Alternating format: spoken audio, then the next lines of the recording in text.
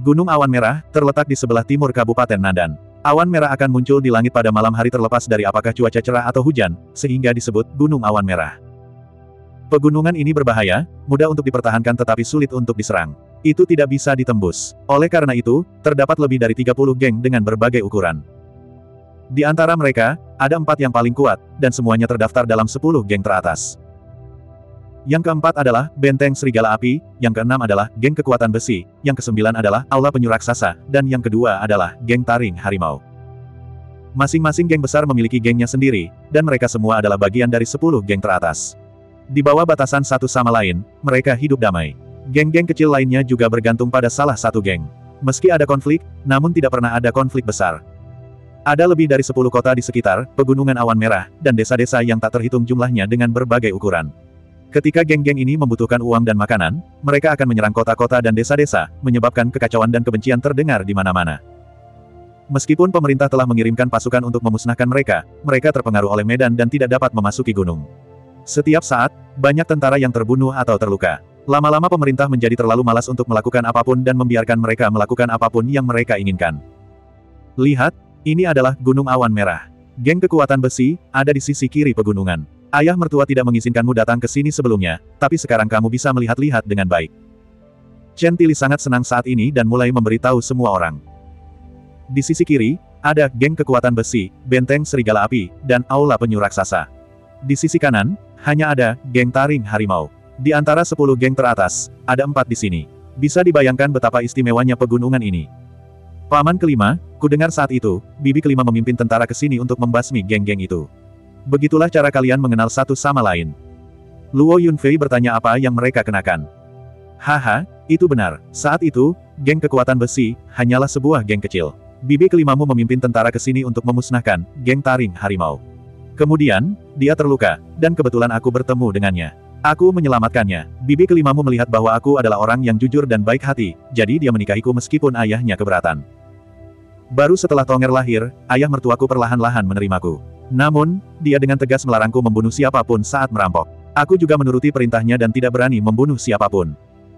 Setelah sekian lama, reputasi, geng kekuatan besi, atas disiplin yang ketat dan tidak membunuh orang yang tidak bersalah semakin menyebar. Semakin banyak saudara datang bergabung dengan kami. Lambat laun, kekuatan, geng kekuatan besi, berkembang selangkah demi selangkah. Dan mencapai skala saat ini. Benar saja, suasana hati Chen Tili sedang bagus. Ia menjelaskan sebab dan akibat kejadian tersebut.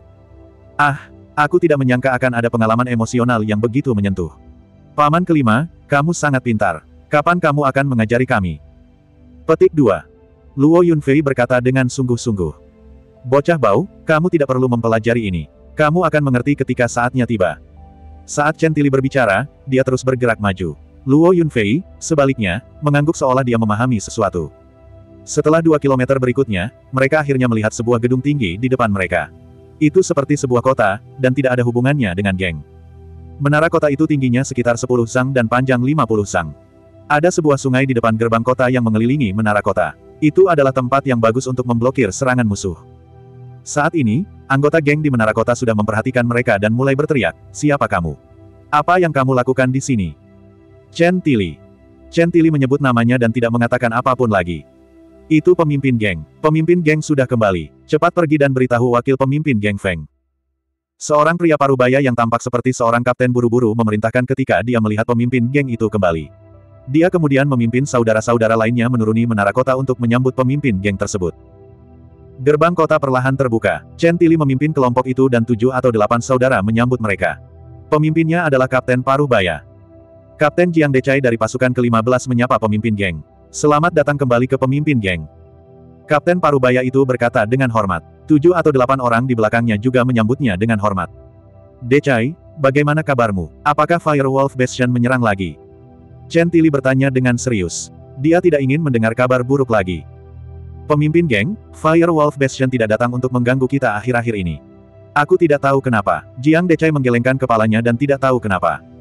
Tidak peduli apa alasannya, ada baiknya mereka tidak datang. Mari kita bicarakan hal itu setelah kita masuk ke dalam geng.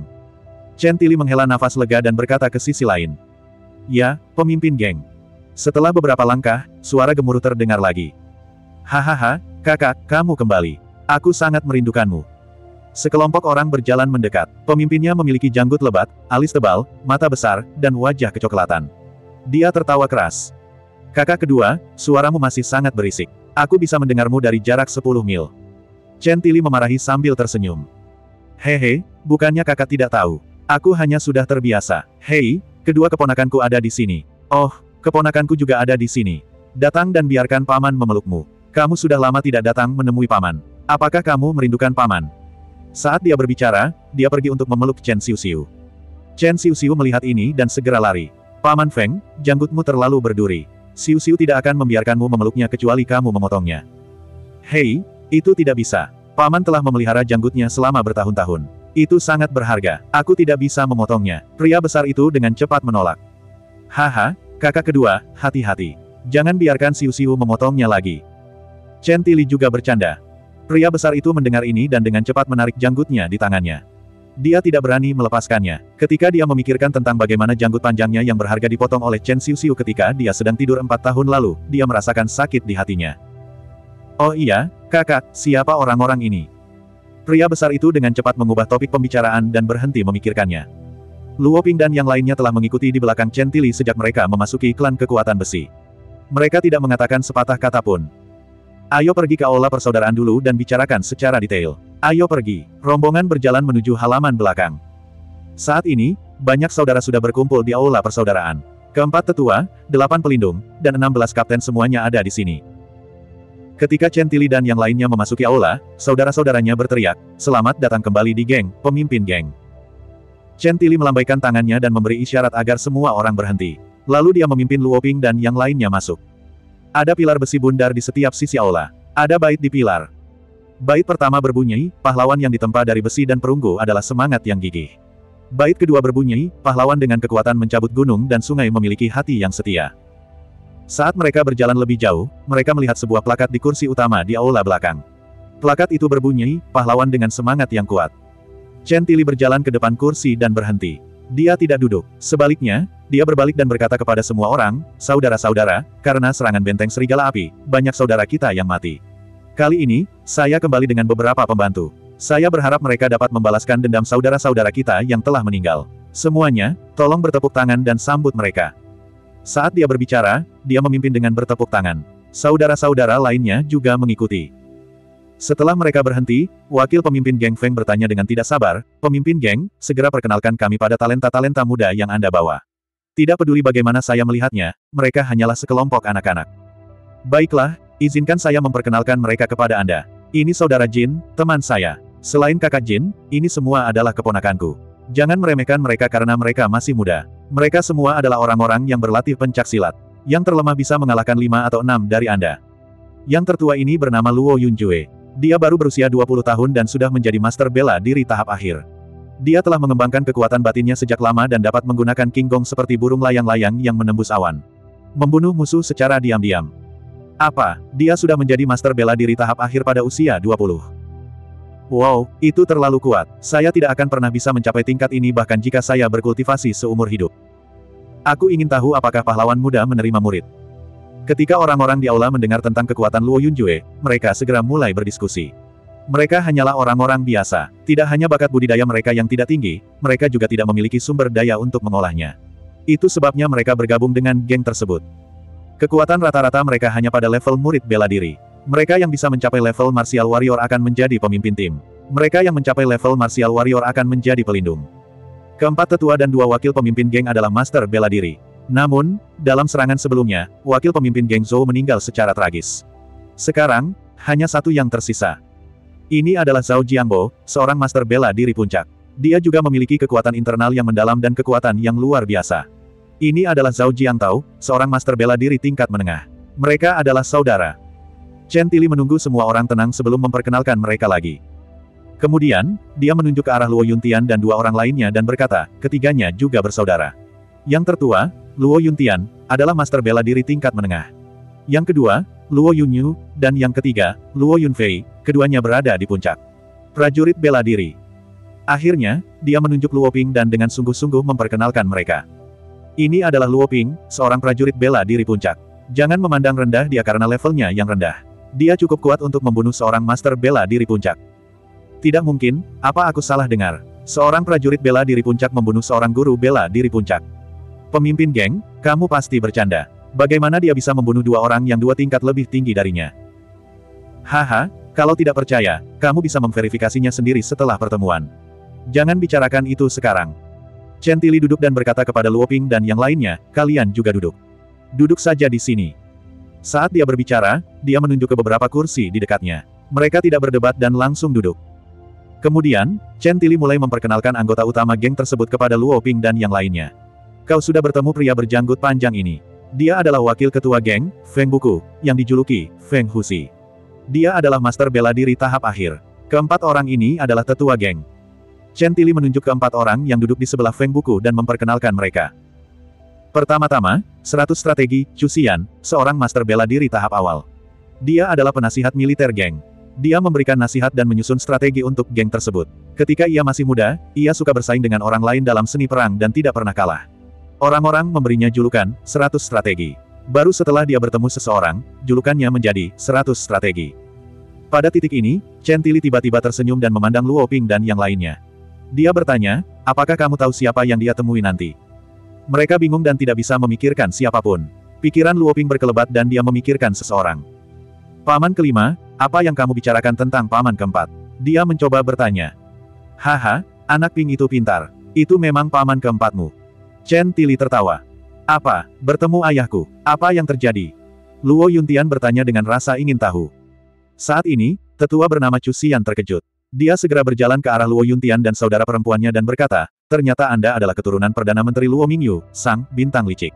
Generasi muda akan melampaui kita pada waktunya. Luo Mingyu bukan hanya penasihat putra mahkota, tapi juga Perdana Menteri. Karena dia memenangkan setiap pertempuran yang dia perintahkan, dia disebut Bintang Licik. Penatuacu, Anda menyanjung kami. Kami tidak layak menerima pujian Anda. Bagaimana kamu bertemu ayahku? 32. Sebenarnya aku kebetulan bertemu dengan ayahmu. Saat itu, kupikir aku sudah mengalami kemajuan dalam studiku, jadi aku berkeliling mencari sastra, militer, dan strategi militer.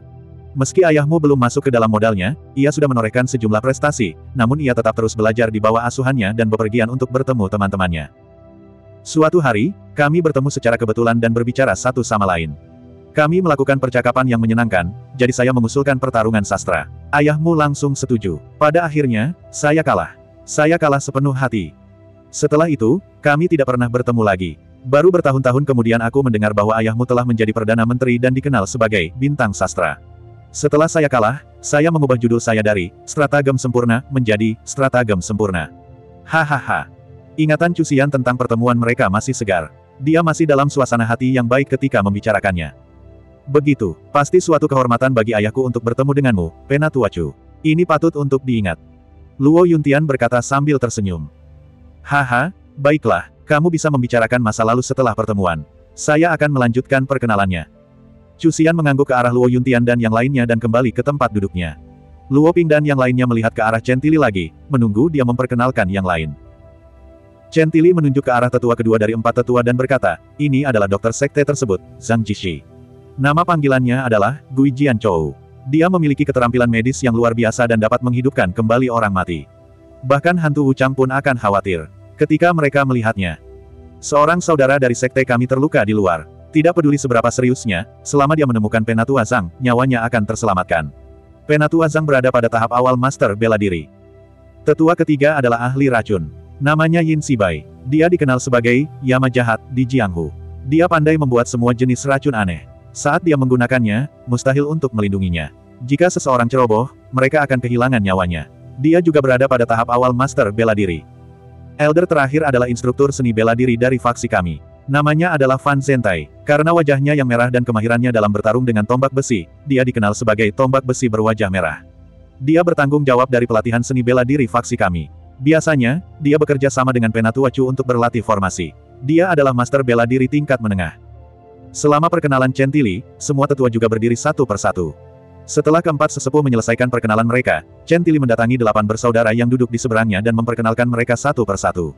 Kedelapan orang ini adalah pelindung sekte. Mereka biasanya bertanggung jawab atas stabilitas internal dan eksternal sekte dan menyelesaikan perselisihan. Nomor 1. Seperempat jam kemudian, Chen Tili menyelesaikan perkenalannya. Kemudian, dia menoleh ke Luoping dan yang lainnya dan berkata, geng kami masih memiliki 16 kapten. Saya tidak akan memperkenalkan mereka satu per satu sekarang. Anda bisa mengetahuinya sendiri setelah pertemuan. Selanjutnya mari kita bahas Firewolf Bastion. Saya mendengar dari Dekai bahwa Firewolf Bastion tidak datang untuk mengganggu kita akhir-akhir ini. Ya, kakak, kami juga mengirim saudara-saudara kami untuk menyelidiki, tetapi mereka tidak menemukan apa pun. Feng Huzi merentangkan tangannya untuk menunjukkan bahwa dia tidak mengerti. Saat Chen Tili sedang berpikir, Luo Yunjue berbicara.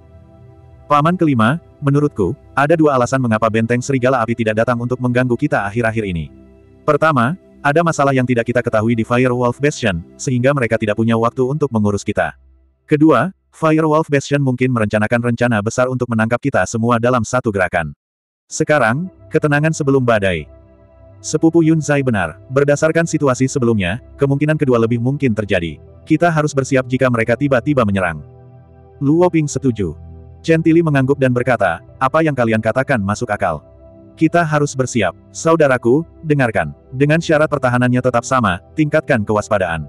Penatua Chu dan Penatua Fang, diskusikan dan latih serangkaian formasi serangan super kuat dalam waktu sesingkat mungkin. Elder Zhang, Lakukan yang terbaik untuk meramu sebanyak mungkin obat penyembuhan jika terjadi keadaan darurat. Elder Yin, bawa beberapa saudara dan racuni area dalam jarak 2 km dari geng kita. Namun, pastikan untuk menandainya dengan benar untuk menghindari secara tidak sengaja melukai rakyat kita sendiri. Delapan penjaga dan 16 kapten, selain bekerja sama dengan empat tetua, pastikan untuk berpatroli dan berjaga juga. Semuanya, lakukan tugasmu. Jangan membuat kesalahan apa pun. Jika tidak, Anda akan dihukum sesuai aturan geng. Apakah kamu mendengarku? Pada akhirnya, Chen Tili bertanya dengan keras. Ya. Saudara-saudara geng kekuatan besi yang hadir menjawab serempak. Baiklah, kalian semua pergi dan bersiap. Feng Huzi, tinggallah. Chen Tili mengangguk puas dan meminta anggota geng itu pergi, hanya menyisakan Feng Huzi. Setelah saudara-saudaranya pergi, Chen Tili kemudian berkata kepada Luo Ping dan yang lainnya, selanjutnya, kita harus memikirkan tentang distribusi tenaga ketika kita melawan Firewolf Bastion. Kita harus menekan mereka dengan keuntungan yang luar biasa. Kakak benar, kekuatan kelas atas Firewolf Bastion tidak sebaik kita. Sekarang kita memiliki begitu banyak pembantu, seharusnya tidak menjadi masalah untuk menekan mereka. Feng Huzi berkata dengan percaya diri. Meski kekuatannya lumayan, dia tidak pandai menganalisis masalah. Namun, karena pria misterius berjubah hitam tingkat master bela diri telah muncul, kami tidak dapat menjamin bahwa tidak akan ada seniman bela diri dari tingkat lain. Oleh karena itu, kami harus konservatif dan tidak boleh gegabah. Luo Yunjue adalah orang yang memiliki pengalaman bertempur yang kaya. Dia sangat bijaksana. Sepupu Yun Jue benar, kami memiliki sepuluh saudara laki-laki dan perempuan sekarang. Bersama dengan paman kelima, wakil pemimpin Geng Feng, dan empat tetua, kekuatan kami tidak lemah. Paman kelima dapat memberitahu kita tentang kekuatan kelas atas dari Firewolf Bastion. Kami sedang memikirkan bagaimana mendistribusikan tenaga kerja. Bagaimana menurutmu? Zhao Jiangbo juga memberikan sarannya sendiri. Semua orang setuju dengan saran Zhao Jiangbo. Mereka juga ingin memahami kekuatan Firewolf Bastion. Chen Tili melihat bahwa semua orang setuju, jadi dia berkata, kepala benteng serigala api bernama Liang Yuekai. Dia memiliki temperamen buruk dan kejam seperti serigala. Selain itu, seni bela dirinya, cakar dewa serigala api, adalah terkenal di dunia bawah. Oleh karena itu, dia disebut serigala api. Benteng serigala api juga dibangun olehnya. Hanya dalam waktu 10 tahun, benteng itu telah berkembang hingga skalanya saat ini. Terlihat bahwa strateginya tinggi dan metodenya kejam.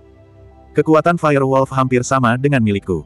Kami berdua berada di puncak level Martial Grandmaster. Namun, cakar Dewa Serigala Api miliknya memang layak mendapatkan reputasinya. Tidak hanya cepat, kejam, dan akurat, tetapi juga tidak dapat diprediksi. Bahkan jika aku bertarung dengannya, aku harus sangat berhati-hati. Chen Tili sangat yakin dengan kekuatan dan metode Firewolf. Sepertinya reputasi benteng Serigala Api sebagai peringkat keempat di antara 10 geng terhebat di daerah ini bukan hanya untuk pamer. Bukan saja kecepatan perkembangan mereka lebih cepat daripada geng kekuatan besi paman kelima, kekuatan mereka juga telah melampaui kita. Menurutku Firewolf bukanlah orang baik. Dia layak untuk diperhatikan. Luo Yunjue berkata dengan serius setelah mendengarkan perkenalan Firewolf. Ya, itu benar. Paman kelima, mari kita bicara tentang anggota lainnya. Kata Luo Yuntian. Benteng Serigala Api memiliki tiga tetua, sembilan pelindung, dan 24 kapten di bawah pimpinan. Kita hanya perlu fokus pada ketiga tetua. Anggota lainnya dapat ditangani oleh saudara-saudara di bawah. Ketiga tetua itu adalah Ji Baikian, Raja Tipu Daya, Yu Gengnian, Tangan Hantu, dan Leng Qinghai, Cendikiawan Dingin. Ji Baikian adalah penasihat militer dari Firewolf Bastion. Dia pandai dalam hal licik, kejam, dan tidak bermoral. Namun, orang ini memang sangat cerdas dan mahir dalam seni perang. Dia sering kali bisa membalikkan keadaan dan membunuh orang-orang. Musuh ketika mereka akan gagal. Orang ini memiliki kekuatan master bela diri tingkat menengah. Chen Tili terdiam, seolah tiba-tiba memikirkan sesuatu. Dia menoleh ke Feng Huzi dan bertanya, kakak kedua, konon Ji Baikian tidak pernah menunjukkan wajah aslinya. Tidak ada yang melihat wajah aslinya. Dia memakai topeng sepanjang hari, hanya memperlihatkan mata dan mulutnya. Saat dia berbicara, suaranya serak. Kamu belum pernah bertengkar dengannya, seberapa banyak yang kamu ketahui tentang dia. Kakak laki-laki, ketika aku bertarung melawan Ji Bakian, itu adalah pertempuran yang kacau. Meskipun dia berada di wilayah kecil yang lebih rendah dariku, dia tenang dan tenang selama pertempuran. Dia memerintahkan dengan mudah dan membunuh tanpa mengedipkan mata. Matanya menatap tajam, dipenuhi dengan cahaya dingin haus darah yang bahkan mengejutkanku. Aku merasa dia tidak lebih lemah dari serigala api. Feng Huzi menjawab dengan serius. Sepertinya Jibaikian ini adalah orang yang sangat sulit untuk dihadapi. Bagaimana dengan dua lainnya? Lu Woping bertanya. Tangan hantu, Yu Gengnian, adalah master bela diri tahap pemula. Dia bertanggung jawab atas segalanya di benteng serigala api. Baik itu uang, makanan, manusia, ternak, atau negosiasi diplomatik, dia mengatur segalanya dengan tertib. Dia sangat dihargai oleh serigala api. Orang ini juga pandai menyanjung orang lain. Dia sangat pandai membaca ekspresi orang. Dia berbicara bahasa manusia ketika dia melihat orang, dan berbicara bahasa manusia ketika dia melihat hantu. Seni bela diri Yugengnian adalah tangan hantu dan langkah bayangan tangan hantu. Gerakan tubuhnya sangat baik dan tekniknya sangat kejam. Dia bisa menggali hati orang dalam sekejap mata dan memakannya hidup-hidup. Banyak saudara kita yang mati di tangannya.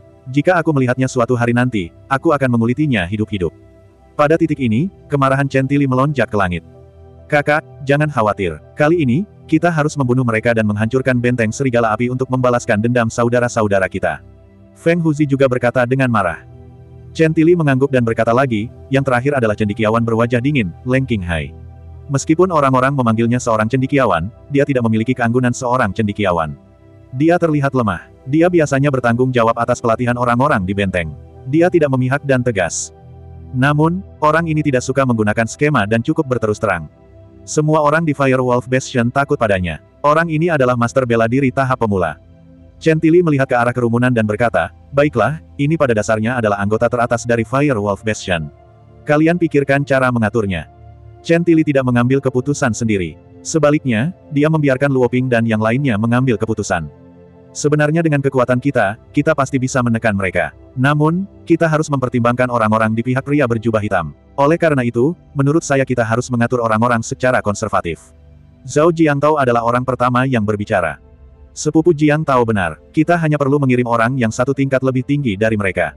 Chen Tong juga setuju. Tetapi saya juga ingin berpartisipasi. Biarkan saya yang menanganinya.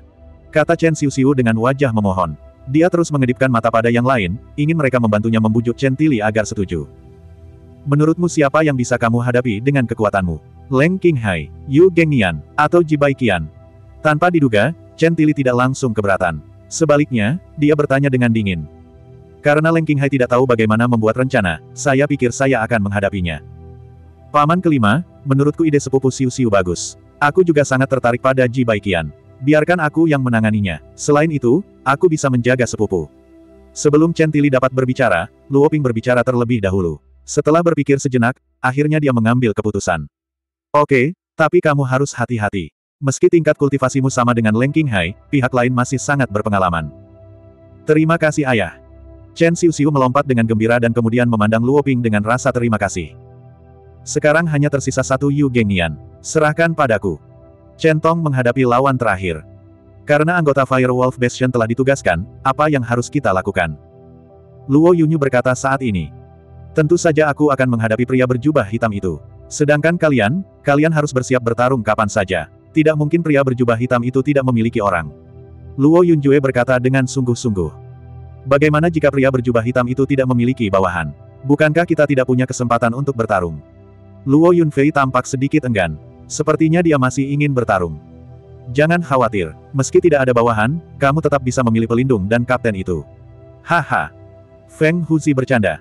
Luo Yunfei hanya bisa mengangkat bahunya tanpa daya. Itulah satu-satunya cara. Melihat semua orang telah menugaskan orang, Chen Tili berkata, karena semua orang telah ditugaskan, saya akan membiarkan saudara-saudara saya mengatur tempat tinggal kalian. Kalian harus mempersiapkan dan membiasakan diri terlebih dahulu. Feng Huzi, aturlah. Ya, kakak. 33. Setelah meninggalkan aula persaudaraan, Luoping dan yang lainnya memilih tempat tinggal mereka sendiri di bawah bimbingan salah satu anggota geng. Duduk di dalam ruangan, Luo Ping mengeluarkan Wishful Phantom Divine Palm, teknik telapak tangan yang diberikan untuk turnamen tantangan dan mulai mempelajarinya. Meskipun lawannya hanyalah seorang master bela diri tingkat menengah, Luo Ping tidak akan meremehkannya. Karena lawannya banyak akal dan penuh tipu daya, dia tidak bisa lengah. Mampu menguasai satu jenis teknik bela diri berarti memiliki lapisan perlindungan tambahan. Meskipun dia sudah bisa membunuh master bela diri puncak, negaranya sangat luas dan terdapat berbagai jenis monster. Dia tidak boleh sombong dan angkuh. Palem Wishful Phantom Divine menekankan kecepatan dan perubahan. Ia mengikuti tubuh seperti bayangan dan menghubungkan pikiran seperti belatung di tulang tarsal. Tidak mungkin untuk mencegahnya seperti gelembung ilusi. Ada tiga gerakan dalam teknik telapak tangan ini. Untuk itu praktisi harus memiliki teknik gerakan terbaik untuk menampilkan inti dari teknik telapak tangan. Luo Ping melihat teknik telapak tangan dan menenangkan diri sejenak. Dia mulai berlatih sesuai petunjuk di manual. Saat telapak tangan bergerak, gerakannya tidak menentu dan sulit dilacak. Lambat laun, Luo Ping tenggelam dalam latihannya dan melupakan waktu. Sepupu Ping, apakah kamu di sana? Saatnya makan malam. Chen Xiu Xiu berteriak dari luar pintu. Dengan derit, pintu terbuka. Luo Ping keluar ruangan sambil tersenyum dan datang ke depan Chen Xiu Xiu. Kamu akan makan malam secepat ini. Tetap, pukul berapa sekarang? Jika bukan karena jamuan makan yang disiapkan oleh geng, kami pasti sudah selesai makan. Ayo pergi sekarang. Semua orang ada di sini. Ayo cepat. Chen Xiu menarik Luo Ping dan berlari keluar. Aula sudah dipenuhi anggota geng. Mereka semua minum dan makan. Keduanya langsung menuju meja Chen Tili dan duduk. Sepupu Ping, kamu baru datang ketika semua orang mulai makan. Minumlah tiga cangkir sebagai hukuman. Ayo. Zhao Jiangbo mengambil teko anggur dan menuangkan anggur untuknya. Melihat semua orang begitu bahagia, Luo Ping tidak menolak. Dia minum tiga cangkir berturut-turut sebelum berhenti. Sepupu Ping, kenapa kamu terlambat? Ke mana kamu pergi? Luo Yunfei bertanya sambil makan. Saya tidak ke mana-mana, saya hanya berlatih teknik telapak tangan di kamar dan lupa waktu. Makanya saya terlambat, hehe. Luo Ping menggaruk kepalanya karena malu. Lihat, lihat, semangat seperti apa yang dimiliki sepupu Ping. Lihat kalian, aku sangat mengkhawatirkan kalian. Chenda segera memuliahi orang banyak dengan ekspresi serius. Dia tampak seperti seorang guru.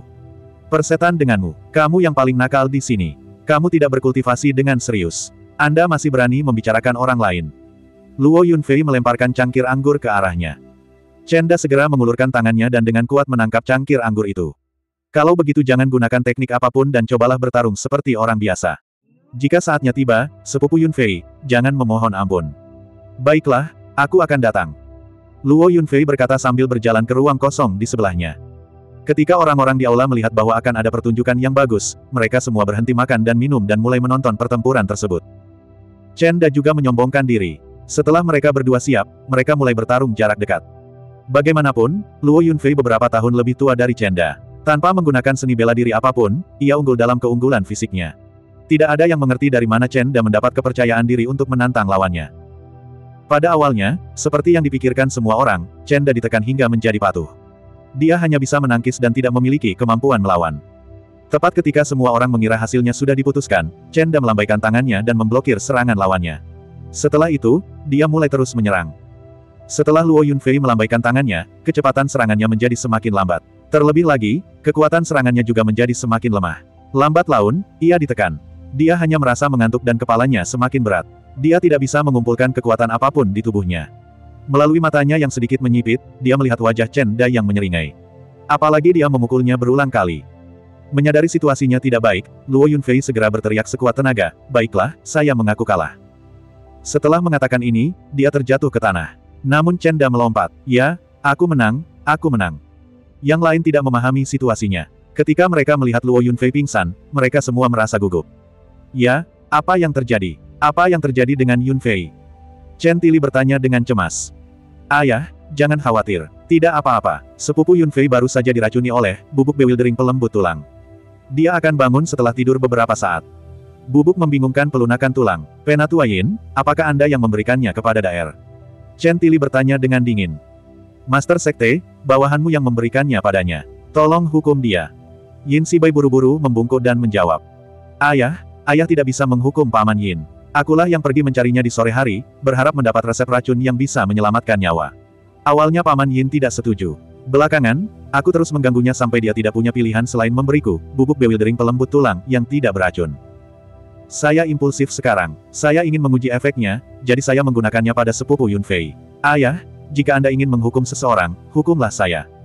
Chen Da khawatir ayahnya akan menghukum Yin Sibai, jadi dia buru-buru menjelaskan. Paman kelima, jangan salahkan sepupu Chen Da. Dia hanya impulsif. Karena kakak kedua akan baik-baik saja setelah tidur sebentar, itu bukan masalah besar. Anda tidak perlu khawatir. Sebagai kakak laki-laki, Luo Yuntian menyatakan pendiriannya atas nama Luo Yunfei. Namun Chen Tili tercengang. Kapan aku bilang aku akan menghukum mereka? Aku hanya mempertimbangkan apakah aku harus memberi kalian masing-masing, bubuk pelembut tulang yang membingungkan, atau tidak untuk pertahanan diri. Semua orang terdiam. Haha, kakak memang kakak. Pikiranmu bukanlah sesuatu yang bisa kami pahami. Karena itu masalahnya, saya pikir kita harus membiarkan adik Yin memberikannya kepada semua orang, kata Feng Huzi sambil tersenyum. Oleh karena itu, ketika jamuan makan berakhir, setiap orang menerima porsi, bubuk bewildering pelembut tulang. Luo Yunfei bangun sebelum jamuan makan berakhir. Setelah mengetahui apa yang terjadi, dia tidak hanya tidak marah, dia juga sangat senang untuk mengklaim pujian. Jika saya tidak menguji sendiri efek obat ini, bagaimana Anda bisa mendapatkan obat ini? Anda harus berterima kasih kepada pahlawan hebat. Semua orang terdiam. Setelah jamuan makan berakhir, semua orang kembali ke kediaman masing-masing dan melakukan apa pun yang mereka inginkan. Luo Ping berlatih, telapak tangan ilahi pantom yang penuh harapan, sekali lagi. Dalam sekejap mata, lima hari telah berlalu. Dalam lima hari ini, tidak ada pergerakan dari Fire Wolf Bastion. Pada hari ke-6, ketika langit baru saja mulai cerah, teriakan memekakan telinga terdengar di luar klan kekuatan besi. Dalam sekejap, semua anggota klan siap berperang dan berkumpul dengan semangat tinggi. Luo Ping dan yang lainnya mengikuti Chen Tili ke menara gerbang kota untuk memeriksa situasinya. Sejauh mata memandang, ada masa hitam di luar menara gerbang kota. Hampir seribu orang berkumpul di sana. Semuanya penuh energi dan tampak heroik. Di depan kelompok, ada dua orang menunggang kuda sekitar tiga sang jauhnya. Mereka sedang melihat ke menara gerbang kota. Ketika mereka melihat Centili muncul, seorang pria parubaya dengan tubuh kekar dan aura mendominasi berteriak, Saudara Centili, bagaimana kabarmu? Saya datang ke sini hari ini untuk membahas kesepakatan dengan Saudara Chen. Saya ingin tahu apakah Saudara Chen bersedia memberi saya kehormatan untuk berbicara. Saudara Liang, jika ada yang ingin Anda katakan, katakan saja di bawah.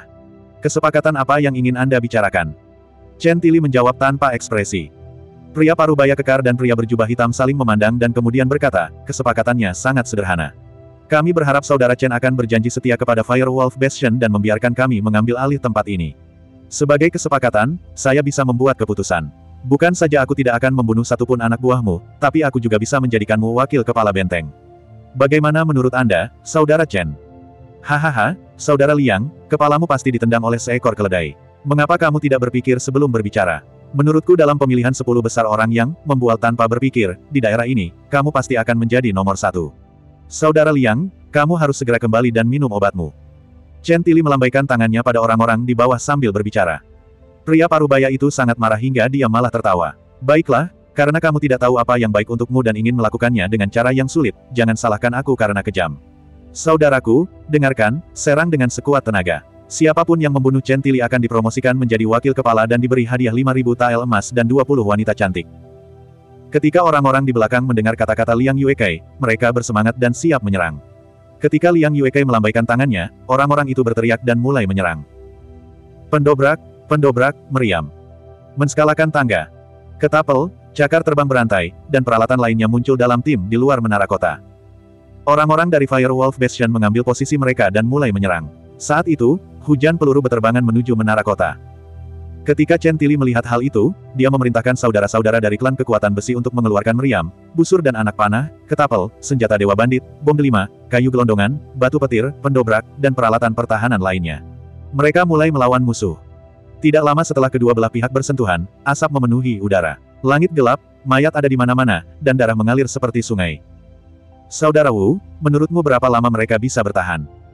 Di bawah menara kota, Liang Yuekei bertanya pada pria berjubah hitam dengan senyuman di wajahnya. Tidak lebih dari 30 menit. Pria berjubah hitam itu menjawab dengan sederhana dan tidak mengatakan apa pun lagi. Baiklah, tiga tetua, bersiaplah. Setelah kota ini ditembus, pimpin saudara-saudara dan serang masuk. Liang Yuekei memerintahkan tanpa menoleh. Ya Tuan. Tiga orang di belakangnya menerima perintah itu secara serempak. Tuan, menara kota tidak akan bisa bertahan lama. Saya pikir begitu gerbang kota ditembus, benteng serigala api akan membawa orang masuk. Haruskah kita bersiap sekarang? Fan Zentai melihat situasi saat ini dan bertanya. Baiklah, sampaikan perintahnya. Semuanya bersiap-siap. Setelah kota ditembus dan musuh menyerang, bunuh musuh dengan sekuat tenaga sesuai rencana. Perintah Centili dengan tenang. Fan Zhentai menerima pesanan tersebut dan segera pergi untuk mengaturnya. Luo Ping, Chen Xiu Xiu, dan Chen Tong juga mundur dari menara kota dan bersiap melawan musuh. Ledakan. Gerbang kota dilanggar. Sekelompok besar orang Firewolf Bastion memasuki kota melalui jembatan kayu di atas parit. Dalam sekejap mata, beberapa ratus orang berkumpul di kota. Saat orang-orang ini hendak menyerang ke segala arah, ledakan keras tiba-tiba terdengar dari gerbang kota di belakang mereka. Semua orang berbalik, hanya untuk menemukan bahwa gerbang batu tebal telah runtuh dan menghalangi gerbang kota, mengisolasi mereka sepenuhnya dari dalam. Pada saat ini, empat menara kota juga dipenuhi oleh saudara-saudara dari klan kekuatan besi. Semuanya mengarahkan busur dan anak panah ke arah mereka. Oh tidak, kita jatuh ke dalam jebakan. Mereka sebenarnya berpura-pura lemah untuk memancing kita masuk. Jibaikian langsung bereaksi. Semuanya bersiap untuk bertahan. Cobalah untuk menyebar ke segala arah. Serang gerbang kayu di depan Anda sambil melakukan serangan balik. Dia mulai mengatur tindakan penanggulangannya. Menembak. Saat perintah diberikan, hujan anak panah menghujani dari atas tembok kota.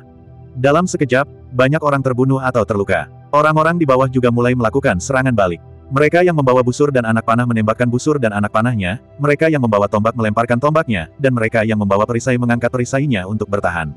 Mereka semua tersebar ke segala penjuru dan melindungi sekelompok orang yang menyerang gerbang kota di depan. Satu demi satu kelompok menembak. Saudara-saudara di menara kota sangat puas dengan pembunuhan tersebut. Saat mereka ingin membunuh musuh dalam satu gerakan, gerbang kota di depan mereka akhirnya dibobol. Orang-orang dari Firewolf Bastion juga bergegas ke halaman, tapi sekarang, lebih dari 200 orang hilang. Mereka terbakar amarah. Ketika mereka bertemu dengan saudara dari klan kekuatan besi, mereka mulai bertarung tanpa mengucapkan sepatah kata pun. Saudara-saudara dari klan kekuatan besi juga penuh dengan kebencian. Kedua belah pihak tidak akan beristirahat sampai salah satu dari mereka meninggal. Pertempuran itu sangat sengit. 34. Haha, apakah Centili tidak punya siapa-siapa untuk digunakan? Dia mengirim tiga anak untuk menghentikan kita. Leng Qinghai berkata dengan nada menghina. Meskipun Jibaikian mengenakan topeng, matanya bersinar seolah sedang mengamati dan memikirkan sesuatu. Leng tua, apakah menurutmu Centili bodoh? Karena dia mengirim orang-orang kecil ini ke sini, dia harus memiliki kepercayaan diri yang cukup. Saya pikir Anda harus lebih berhati-hati. Jangan gagal dalam tugas sederhana seperti itu. Suaranya serak dan rendah, seperti setan dari neraka. Kakak Ji benar, kita harus berhati-hati. Bagaimana kita harus mendistribusikan ketiga anak ini? Yu Gengnian juga setuju. Leng Qinghai melihat keduanya sangat berhati-hati. Meskipun dia memiliki beberapa keraguan, dia tetap memilih untuk mempercayainya. Karena dia tidak secerdas Ji Baiqian, dan tidak sejeli Yu Gengnian. Karena keduanya mempunyai pendapat yang sama, dia yakin itu benar. Tidak perlu membagikan. Karena mereka sudah mengatur orang, mereka pasti sudah membagikan kita. Kita tinggal menunggu mereka datang. Jibaikian berkata dengan percaya diri. Tepuk tangan. Raja Tipuan, benar-benar sesuai dengan namanya. Dia benar-benar memahami pengaturan kita. Karena itu masalahnya, jangan menunda lebih lama lagi. Mari kita mulai. Luo Ping bertepuk tangan dan mencibir. Setelah mengatakan itu, dia bergegas menuju Jibaikian. Chen Xiu Xiu dan Chen Tong pun menemukan lawannya masing-masing. Ku bilang, apakah kamu meremehkanku? Aturlah seorang gadis kecil untuk menjadi lawanku. Prinsipku adalah tidak melawan wanita, orang tua, atau anak-anak. Cepat carikan aku yang lain. Leng Qinghai memandang Chen Xiu Xiu dan berteriak dengan ketidakpuasan. Huh, Paman, sebaiknya kamu tarik kembali prinsipmu. Aku akan membuatmu menderita nanti. Ayo kita mulai.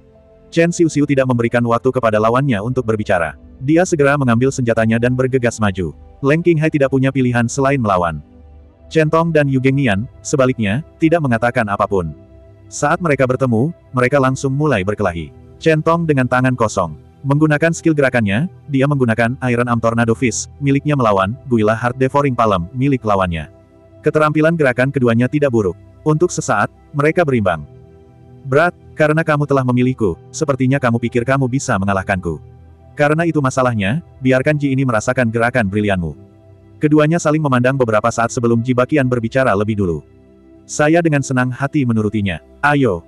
Luo Ping juga telah membuat persiapan dan mengeluarkan pedang mengejar matahari. Di sisi berlawanan, Jibaikian mengacungkan pedangnya dua kali dan bergegas juga. Tebasan silang angin puyuh. Dengan teriakan nyaring, Jibaikian tiba-tiba menebas dengan pedangnya. Bilahnya memancarkan cahaya hijau dan membuat salib di udara, menyerang lawan dari sudut yang tidak bisa dihindari. Melihat ini, Luo Ping segera mengayunkan pedangnya untuk memblokir. Segera setelah dia menggunakan cahaya pedang dan bayangan darah, bayangan pedang dan cahaya pedang yang tak terhitung jumlahnya muncul di sekitar pedang dan menebas ke arah tebasan silang angin puyuh dengan kekuatan yang tak terhentikan. Kecepatannya begitu cepat dan kekuatan pedangnya begitu kuat bahkan hingga membelah udara. Dengan suara, dang pedang dan pedang itu bertabrakan. Percikan terbang ke mana-mana dan cahaya serta bayangan berkelap-kelip. Penglihatan keduanya benar-benar terhalang. Ketika keadaan sekitar menjadi jelas kembali, mereka berdua akhirnya bisa melihat situasi dengan jelas. Luo Ping mengarahkan pedangnya ke lawannya. Dia tidak terluka dan terlihat serius. Di sisi berlawanan, Jibaikian juga tidak terluka. Namun, lengan yang memegang pedang itu sedikit bergetar. Dampaknya pun tidak kecil. Ujung pedang di tangannya ditopang oleh tanah. Dia menatap lawannya dengan wajah kaget dan marah. Huh, aku tidak menyangka anak kecil sepertimu bisa menjadi ahli bela diri. Sepertinya bakatmu lumayan. Menurutku dua bocah nakal lainnya juga sama. Chen Tili sebenarnya tidak sederhana. Dia sebenarnya meminta bantuan kalian. Ji Baikian menarik napas dalam-dalam dan menahan amarah di hatinya. Dia berkata dengan dingin. Tetapi kamu benar-benar mengecewakanku. Rumor mengatakan bahwa Penatua Ji dikenal karena rencana jahat dan kekejamannya. Mengapa lenganmu gemetar padahal kita baru saja mulai? Mungkinkah kamu tidak bisa tidur tadi malam dan tidak tidur? Merasa baikan hari ini? Atau mungkinkah penyakit Parkinsonmu sedang kambuh? Luo Ping menggelengkan kepalanya dan mengolok-oloknya. Huh, lelaki tua ini tadi ceroboh. Makanya kamu punya kesempatan. Kamu harus hati-hati mulai sekarang. Kalau tidak hati-hati, kamu akan mati. Meski wajah Ji Baikian ditutupi topeng, cahaya mematikan di matanya masih bisa terlihat. Baiklah, mari kita lihat gerakan apa lagi yang kamu punya. Ayo. Begitu Luo Ping menyelesaikan kata-katanya, dia mengayunkan pedangnya dan menusuk ke arah lawannya. Reaksi Ji Baikian juga tidak lambat. Dia menjentikan pergelangan tangannya dan mengangkat pedangnya untuk bertarung dengan Luo Ping. Selama pertukaran, kedua belah pihak menunjukkan kemampuan mereka. Mereka bertempur sampai mati, tidak memberikan ruang untuk negosiasi. Luo Ping sepertinya menggunakan seluruh kekuatannya, tetapi kenyataannya, dia banyak menahan diri. Dia hanya ingin melihat seberapa kuat lawannya. Setelah puluhan ronde, Ji Baikian mulai memikirkan bagaimana cara memberikan pukulan fatal kepada lawannya. Seni pedang seratus bunga, musim semi anggrek. Jibaikian tiba-tiba mengubah lintasan pedangnya dan menebas maju mundur dengan cara yang tidak dapat diprediksi, membuat lawannya tidak mungkin mengetahui di mana serangan berikutnya akan mendarat. Luo Ping melihat perubahan mendadak pada seni pedang lawannya dan ingin mundur sementara. Namun, lawannya tidak mau melepaskannya. Dia diam-diam terkejut dan terkesan dengan seni pedang lawannya yang tidak dapat diprediksi. Mendesis. Di saat kecerobohan, lengannya terpotong oleh pedang lawannya. Untungnya, dia dilindungi oleh baju besi lembutnya dan tidak terluka. Menyadari bahwa seni pedang lawannya tidaklah sederhana, Luo Ping tidak lagi ragu-ragu. Dia memperluas, seni tubuh asap mengambang, hingga tiga derajat dan menyandarkan tubuh bagian atas ke belakang. Dia mengitari lawannya sambil membela diri. Jibaikian menebak pikirannya dan menyerang lebih ganas lagi, tidak memberinya kesempatan untuk mundur. Bunga plum musim dingin. Jibaikian mengubah seni pedangnya lagi. Seperti angin musim dingin, pedangnya sangat ganas dan cepat, mengarah ke titik vital lawannya. Saat Luoping bergerak, dia menampilkan Sabre Light dan Sword Shadow, lagi, menciptakan bayangan pedang yang tak terhitung jumlahnya untuk menghalangi pandangan lawannya. Dia kemudian memaksa lawannya mundur dengan aura pedangnya yang kuat. Barulah dia bisa lepas dari jangkauan serangan lawannya. Begitu dia mendarat, dia menyadari bahwa bajunya robek lagi. Tanpa disadari, evaluasinya terhadap keterampilan Ji Baikian meningkat ke tingkat yang lebih tinggi. Dia menoleh dan melihat Ji Baikian menatapnya dengan senyuman dingin. Bagaimana, bocah nakal? Rasanya tidak enak kan? Jika kamu tidak mengenakan baju besi lembut itu, kamu akan mati karena kehilangan banyak darah. Haha. Haha, aku melihatmu terlalu tua. Dengan semangat menghormati yang tua dan menyayangi yang muda, aku membiarkanmu melakukan beberapa gerakan terlebih dahulu. Jika aku mengalahkanmu sampai mati terlalu cepat, aku tidak akan bisa bermain lagi. Luo Ping mengangkat bahu dan menjawab sambil tersenyum. Kamu belum tua, tapi mulutmu besar. Orang tua ini makan lebih banyak garam daripada kamu makan nasi. Kalau kamu bicara omong kosong, kamu tidak akan bisa mempertahankan hidupmu. Kartu trufmu. Saya tidak perlu menggunakan kartu truf saya untuk berurusan dengan Anda. Saya hanya perlu menggunakan kartu truf saya. Datang. Luo Ping dengan cepat menyerang lawannya dengan pedangnya. Ketika lawannya melihat pedang itu datang, dia memblokir serangan itu dengan pedangnya. Saat dia hendak melawan pedangnya, dia melihat Luo Ping tiba-tiba mengulurkan tangannya yang lain dan kemudian menariknya. Dengan suara, dang pedang itu patah entah kenapa. Pedang, Win Chasing, milik Luoping menusuk ke arah tenggorokan lawannya. Namun, reaksi lawannya tidak lambat sama sekali. Dia terbang mundur dan nyaris menghindari ujung pedangnya. Dia membuang pedang patah di tangannya dan mengeluarkan pisau kembar kupu-kupu dari sepatu botnya. Dia tidak berhenti untuk membela diri. Saat ini, Luoping sudah berada di depannya lagi. Mengejar Sun langsung menebas pinggang lawannya. Pisau kembar kupu-kupu, milik Ji kian segera melintas di depannya untuk menghadang, menghalangi tebasan fatal itu dengan tipis. Jibai kian bisa mengambil nafas. Dia menyerang dari kedua sisi dan mulai melakukan serangan balik. Potongan delapan pedang horizontal, satu pedang mengejutkan angin. Dia tidak hanya melindungi tubuhnya, tapi dia juga menggerakkan udara di sekitarnya. Angin puyuh muncul entah dari mana dan terbang di depan Luoping, menghalangi gerak majunya. Merasakan keanehan angin, Luo Ping menggunakan teknik gerakannya untuk menghindarinya untuk sementara. Ia ingin mencari celah dari sisi lawannya. Namun, saat dia menggunakan teknik pedangnya, seluruh tubuhnya terbungkus rapat sehingga sulit menemukan celah. Tidak, seni bela diri apa pun memiliki kekurangan. Tidak mungkin ada teknik pedang yang tertutup sepenuhnya. Karena tidak ada cacat di sekujur tubuhnya, itu pasti berada di atas. Luo Ping memikirkan kemungkinan ini dalam sekejap. Namun, wajahnya tidak menunjukkan perubahan sedikit pun. Ia tetap menggunakan skill pergerakannya untuk mengepung lawannya dan menyerang sebagai bentuk pertahanan. Suara mendesing. Memanfaatkan kesempatan tersebut, Luo Ping mendorong tanah dengan ujung kakinya dan melompat hingga dua kaki di atas kepala lawannya. Pedang, mengejar matahari, mengarah ke tempat kosong lawan dan menebasnya. Sial, Butterfly Twin Blades berdengung dan jatuh ke tanah dalam sekejap. Pedang, mengejar angin juga secara akurat menebas bahu lawan, dua inci ke dalam dagingnya. Jibai Qian juga setengah berlutut di tanah. Tangannya dengan erat menggenggam badan pedang. Jejak darah sudah mengalir keluar dari tangannya dan mewarnai pedangnya menjadi merah. Namun, dia masih mengatupkan giginya dan bertahan. Matanya menunjukkan sikap ulet dan pantang menyerah, seolah-olah dia menghadapi kematian dengan tenang. Luo Ping sedikit terkejut. Dia tidak menyangka orang yang begitu kejam dan berbahaya akan memiliki tatapan seperti itu. Bangun, ayo bertarung lagi. Menarik kembali pedangnya, Luo Ping mundur dua langkah dan mengambil posisi bertarung lagi, menunggu lawannya. Mata Jibai Qian bergerak beberapa kali. Tidak ada yang tahu apa yang dia pikirkan. Dia perlahan berdiri dan mengambil pisau kembar kupu-kupu di tanah tanpa mempedulikan luka di tangan dan bahunya. Kemudian, dia melirik Luo Ping dan tiba-tiba melemparkan pedangnya ke sisi yang berlawanan. Kemudian, dia segera mengeluarkan dua manik bundar dan melemparkannya ke tanah di antara keduanya. Tiba-tiba kepulan asap tebal mengepul.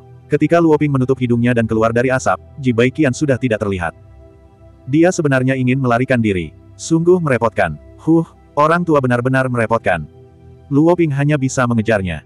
Di dua medan perang lainnya, Chen Xiu memegang pedang suara Phoenix.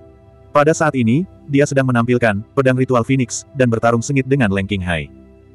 Klub gigi serigala, Leng Qinghai menciptakan hembusan angin saat dia memutarnya, memberi banyak tekanan pada Chen Xiu Begitu dia terkena lawan, kulitnya akan terkoyak dan tubuhnya akan terluka parah. Saat ini, Chen Xiu hanya bisa menampilkan pedang ritual Phoenix untuk meniadakan kekuatan serangan lawan dan mengambil kesempatan untuk melakukan serangan balik. Di sisi berlawanan, Leng Qinghai juga sangat tertekan. Tidak peduli seberapa keras dia berusaha, dia bahkan tidak bisa menyentuh ujung pakaian gadis kecil itu. Bahkan ada beberapa kali ia hampir ditusuk bagian vitalnya oleh lawan. Hei, gadis kecil, sampai kapan kita akan bertarung seperti ini? Kenapa kita tidak membuang senjata kita dan bertarung dengan tangan kosong? Leng Qinghai tidak dapat menahannya lagi dan menyarankan metode yang lebih menguntungkannya. Apakah kamu pikir aku bodoh? Jika aku melawanmu dengan tangan kosong, aku akan kalah dalam hal kekuatan. Meskipun kita berada di level yang sama, kamu sudah berada di levelmu saat ini begitu lama dan kamu, aku lebih berpengalaman dariku.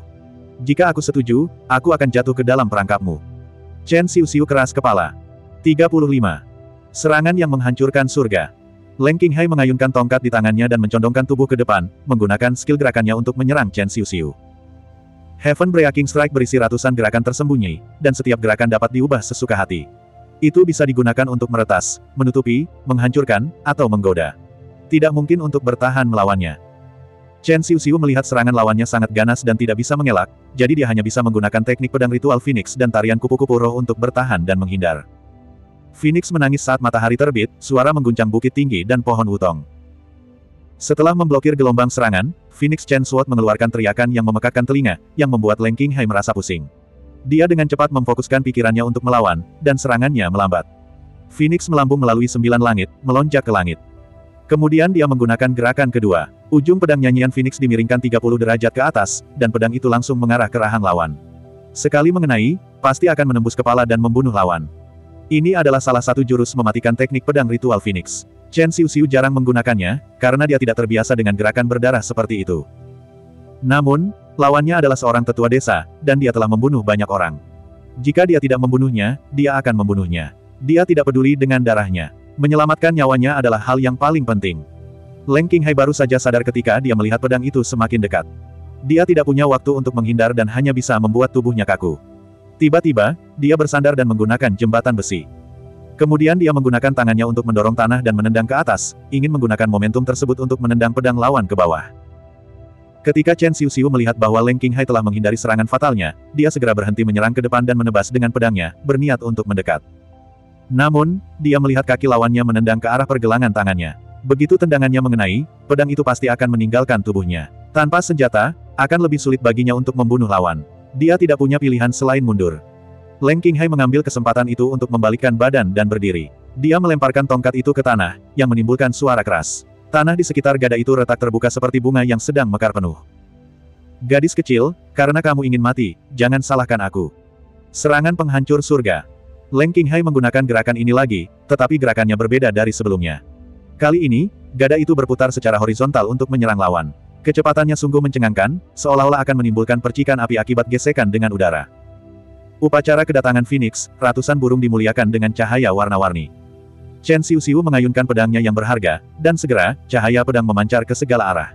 Bayangan pedang menutupi mata, dan saat cahaya dan bayangan saling terkait, kekuatan menakjubkan meletus, menyebabkan orang merasakan ketakutan di dalam hati mereka. Mereka gemetar ketakutan dan berpikir untuk mundur. Leng Qinghai dengan cepat menggigit ujung lidahnya dan menjernihkan pikirannya dari pikiran-pikiran yang mengganggu. Fokus menyerang. Sesaat kemudian, keduanya mulai berkelahi lagi. Diperkirakan akan sulit menentukan pemenang dalam waktu singkat. Di sisi lain, Chen Tong telah dengan tegas menekan Yu Gengnian saat ini. Pada awalnya, Chen Tong telah menggunakan tinju angin puyuh lengan besi untuk melawan telapak tangan pemakan hati hantu milik Yu Gengnian, namun dia tidak dapat melakukan apa pun pada Yu Gengnian. Pertama, gerakan Yu Gengnian tidak dapat diprediksi dan setiap gerakan berakibat fatal. Kedua, teknik gerakan Yu Gengnian tidak kalah dengan miliknya, sehingga ia tidak dapat menemukan kesempatan untuk melukai Yu Gengnian. Setiap kali Yu Gengnian ingin merebut hati Yu Gengnian, ia akan dihadang oleh pelukan Yu Gengnian. Jika lengan Yu Gengnian terbuat dari daging dan darah, dia bisa dengan mudah melumpuhkannya. Namun, lengan Yu ditutupi dengan peralatan pelindung yang sangat keras. Warnanya hitam legam dan bersinar samar, tidak bisa dihancurkan. Setiap kali dia memukulnya, tangannya terasa mati rasa. Haha, Ikan tua, sepasang pelindung lengan milikku ini terbuat dari besi ungu tua, yang dicampur dengan baja vanadium sejati. Kekerasannya dapat menahan pukulan penuh dari Jenderal bela diri di alam siklus surgawi kecil.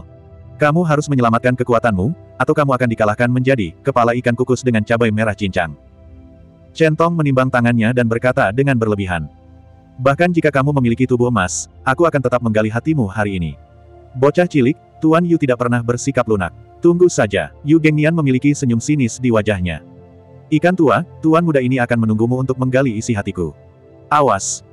Tinju Centong menyerang dengan cepat dan ganas. Tinjunya cepat dan ganas, dan angin dari tinjunya bertiup. Pada saat yang sama, ia menggunakan teknik gerakan, Meteor Chasing Moon. Tubuhnya bergerak seperti meteor, dan sulit ditangkap. Teknik gerakan ini adalah teknik gerakan kelas satu yang dibanggakan oleh Centong. Meskipun dia baru saja mencapai tahap Stardust, dia sudah bisa mendominasi level yang sama. Dikatakan bahwa ketika seseorang mencapai tahap akhir, bintang catur tersebar, seseorang perlu menggunakan kekuatan batin. Itu sudah merupakan teknik gerakan kelas 1. Setelah teknik gerakan ini digunakan, lingkungan sekitar akan dipenuhi dengan bayangan setelahnya. Akan ada ratusan bayangan setelahnya, dan kecepatannya tidak terbayangkan. Sulit membedakannya dengan mata telanjang.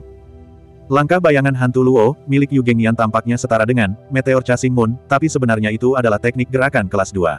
Hanya karena dia sudah lama berlatih, dia mampu bersaing dengan Centong. Melihat Centong bergegas dengan kecepatan yang mencengangkan, Yu Gengnian juga menggunakan teknik gerakannya. Kakinya bergerak cepat, dan pada saat yang sama, tangannya terus-menerus menahan tinju Centong. Dalam sekejap mata, mereka telah bertukar puluhan pukulan. Tangannya sedikit mati rasa akibat benturan tersebut. Kekuatan batinnya jauh lebih rendah daripada Centong pada tingkat yang kecil. Memutar matanya, Yu Gengnian tiba-tiba mengerahkan kekuatan. Setelah memaksa Centong mundur, cakar logam tiba-tiba terbang keluar dari lengan bajunya. Itu diikat dengan rantai logam. Dia memegang rantai itu dan melambaikannya berulang kali, mengendalikan cakar logam untuk meraih Centong. Centong tidak menyangka Centong akan melakukan tindakan seperti itu.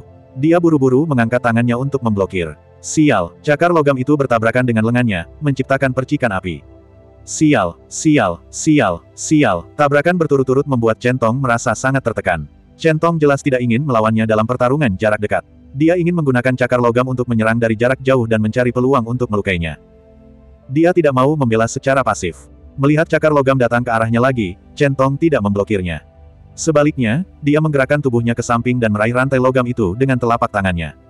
Dia melilitkan rantai di lengannya dan untuk sementara mengendalikan serangan cakar logam itu. Melihat rantai logam itu terjerat, Yu Gengnian ingin menariknya kembali. Namun, dia melihat Chen Tong tiba-tiba mengerahkan kekuatan. Dia merasakan rantai logam itu terbang keluar dari telapak tangannya dan meluncur ke arah Chen Tong. Rasa sakit yang membara menjalar dari telapak tangannya ke kepalanya. Sebelum dia bisa memeriksanya, rantai besi itu telah sepenuhnya lepas dari telapak tangannya dan terbang ke sisi yang berlawanan. Chen Tong tidak berhenti. Dia melambaikan tangannya untuk melepaskan rantai logam dan buru-buru berbalik. Saat tubuhnya menghadap Yu Gengnian lagi, cakar logam itu tiba-tiba terbang ke arahnya. Sebelum Yu Gengnian sempat bereaksi, cakar logam itu menusuk tulang rusuk kanannya dengan keras. Saat ini, Yu Gengnian juga bereaksi. Dia buru-buru meraih cakar logam itu dan terus mundur, mencegah cakar logam itu masuk lebih dalam. Puff! Darah muncrat, memercik sejauh tiga kaki. Yu Gengnian memelototi centong dan mengeluarkan cakar logam dari tulang rusuknya. Dia melemparkannya ke tanah dan mengeluarkan sebotol, salep jincuang, dan mengoleskannya pada luka. Ah! Raungan menyakitkan centong bergema di langit. Ikan tua, jangan sia-siakan obatnya. Lagi pula kamu akan mati. Apa gunanya mengobati lukamu? Selain itu, Anda mencari masalah. Bagaimana kamu bisa terluka oleh senjatamu sendiri? Kamu tidak cukup baik, mendesah. Centong menghela nafas dan menggelengkan kepalanya. Bajingan, aku sudah berada di dunia bawah selama beberapa dekade. Aku tidak percaya aku telah ditipu oleh anak sepertimu. Tapi jangan terlalu cepat bahagia. Jika kamu ingin membunuhku, mari kita lihat apakah kamu memiliki kemampuan. Yu Gengnian sangat tenang saat ini, seolah dia tidak merasa tidak nyaman setelah dikalahkan. Kamu akan segera tahu apakah aku memiliki kemampuan atau tidak. Dengan itu, Centong perlahan berjalan menuju Centong. Melihat sosok di depannya yang perlahan melambat, Luo Ping terkekeh. Setelah mengejarnya keluar dari pintu belakang geng besi, dia benar-benar mengejarnya sejauh lima mil sebelum akhirnya menyusul Ji Baikian. Keduanya kembali bertukar pukulan. Ji Baikian sudah terluka dan berlari mati-matian, yang memperparah cederanya. Pada akhirnya, dia dilukai lagi oleh Luo Ping. Setelah Ji Baikian terluka, dia mengeluarkan dua manik bundar dan melarikan diri dengan bantuan asap. Luo Ping hanya bisa terus mengejarnya. Sekarang setelah dia mengejarnya sejauh lima mil lagi, dia melihat sosok di depannya terhuyung, bergoyang ke kiri dan ke kanan, dan perlahan melambat. Mengetahui Ji Baikian kelelahan, Luo Ping merasa lega. Dia benar-benar tidak ingin menghadapi ledakan manik-manik itu lagi. Luo Ping perlahan mengikuti di belakang Ji Baikian, menciptakan tekanan psikologis padanya. Dia tidak terlalu dekat atau terlalu jauh di belakang, menjaga jarak empat atau lima kaki. Tiba-tiba, Ji Baikian di depannya ambruk ke tanah, tertelungkup dan tidak bergerak. Melihat ini, Luo Ping tidak segera bergegas ke depan untuk memeriksanya.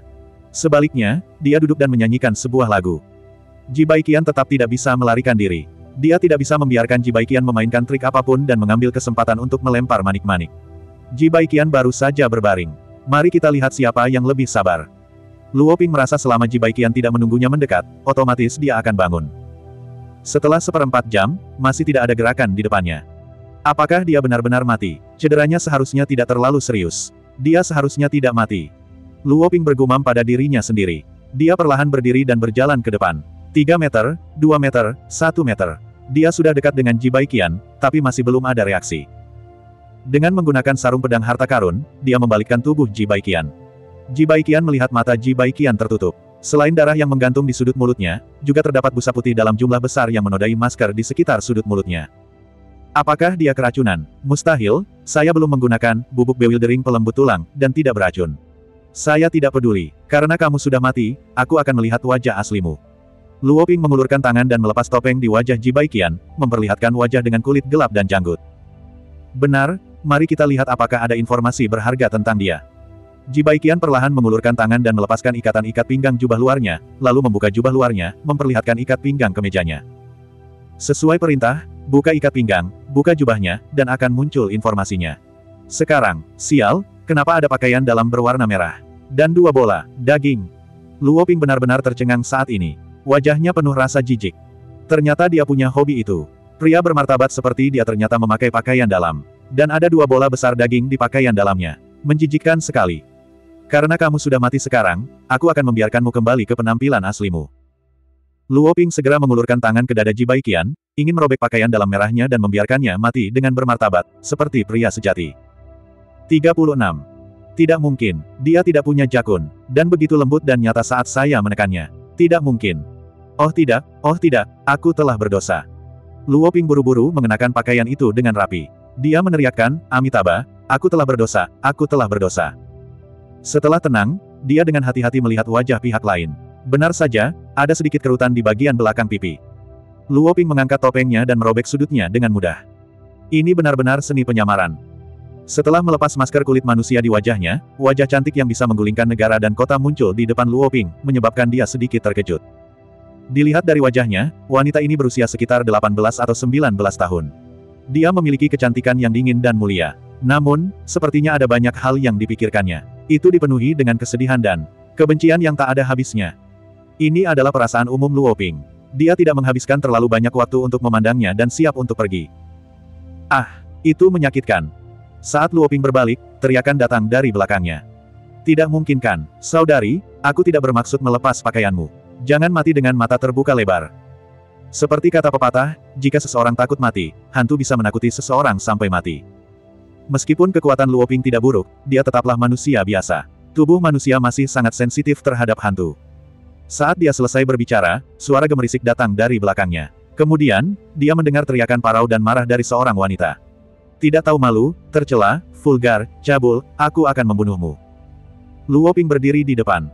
Ketika dia mendengar Ji Baiqian berdiri dan suara pedang menusuk ke arahnya, dia dengan cepat menghindar ke samping dan berbalik untuk melihat situasi di belakangnya. Wajah Ji Baiqian pucat saat dia memegang pedangnya. Dia sangat lemah sehingga dia tampak seperti bulu yang bisa tertiup angin kencang kapan saja. Namun, kemarahan dan tekad di wajahnya membuatnya bisa berdiri dengan mantap. Kataku, kakak, kamu belum mati. Luo Ping tidak bodoh. Ia segera menyadari bahwa orang di depannya masih berupa tubuh berdaging dan berdarah, bukan hantu. Kaulah yang meninggal, tercela, tak tahu malu, tercela. Beraninya kamu memanfaatkan keadaan berbahaya seseorang. Saya akan membunuh kamu. Saat dia berbicara, dia mengayunkan pedangnya untuk menyerang lagi. Namun, setelah mengambil dua langkah, dia terjatuh ke tanah sekali lagi. Wuh, Ji Baiqian, menangis. Hei, kak, jangan menangis. Aku tidak tahan melihat wanita menangis. Hei, kenapa suaramu semakin keras? Huh, baiklah, baiklah. Aku tidak bisa membiarkanmu membunuhku, tapi aku masih bisa membiarkanmu melampiaskan amarahmu dengan memukulku beberapa kali. Ayo. Setelah mengatakan itu, Luo Ping berjalan di depannya, berjongkok, dan menunjuk ke dadanya. Ayo, pukul aku di sini, tapi jangan pukul aku terlalu keras. Kamu bisa pingsan. Wuh, Tangisan Ji Baiqian berangsur-angsur menjadi lebih lembut. Dia memandang Luo Ping, yang sepertinya tidak berbohong. Dia perlahan mengulurkan tangannya ke arah Luo Ping. Ah, sial, kakak, kenapa kamu menggigit lenganku? Luo Ping tidak menyangka dia akan tiba-tiba meraih lengannya dan menggigitnya dengan seluruh kekuatannya. Namun, dia tidak menarik lengannya kembali. Sebaliknya, dia membiarkannya menggigitnya tanpa melepaskannya. Setelah beberapa lama, Ji Baiqian akhirnya mengendurkan mulut kecilnya. Senyuman puas muncul di wajahnya, seolah-olah dia telah mendapatkan apa yang diinginkannya. Di lengan Luoping, ada sederet bekas gigi yang dangkal dan rapi. Bekas luka itu dipenuhi air liur dan air mata. Eh, menjijikkan sekali. Luoping mengeluarkan sapu tangannya dan menyekanya. Kemudian, dia memberikan sapu tangan itu kepada Ji Baiqian dan menunjuk ke pipinya. Bah, aku tidak akan menggunakan barang mesum. Batuk, lupakan saja jika kamu tidak membutuhkannya. Sudah kubilang aku tidak bersungguh-sungguh. Terserah kamu percaya atau tidak. Sekarang, saya punya beberapa pertanyaan yang saya ingin Anda jawab untuk saya. Saya harap Anda dapat bekerja sama dengan saya dengan patuh. Jangan pikirkan itu. Aku tidak akan mengatakan apa pun. Sekalipun aku tahu, aku tidak akan memberitahumu.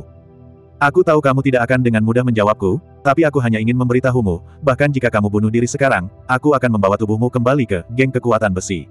Saudara-saudara di geng itu sangat membencimu, aku benar-benar tidak tahu apa yang akan mereka lakukan padamu ketika saatnya tiba.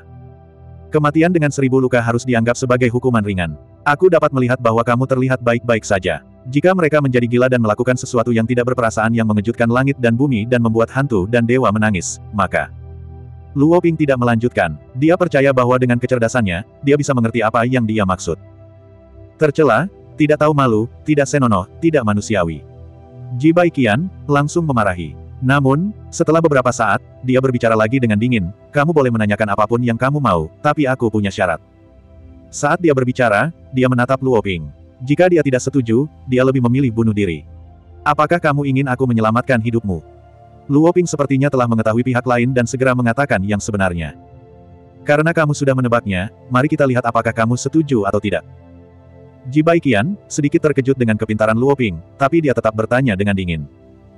Luo Ping merenung sejenak dan berkata perlahan, saya berjanji untuk menyelamatkan hidup Anda dan tidak mengungkapkan identitas Anda. Namun, sebagai gantinya, Anda harus mengakui saya sebagai tuan Anda, mengikuti saya, dan mematuhi perintah saya. Huh, jangan menolak begitu cepat. Pikirkan baik-baik apakah Anda bisa menerimanya atau tidak, lalu beri saya jawabannya. Melihat pihak lain akan menolak, Luo Ping segera menyela dan duduk di sampingnya, menyenandungkan sebuah lagu lagi. Ji Baiqian, melihat perilaku pihak lain yang tidak tahu malu dan secara naluriah ingin menolak kondisinya.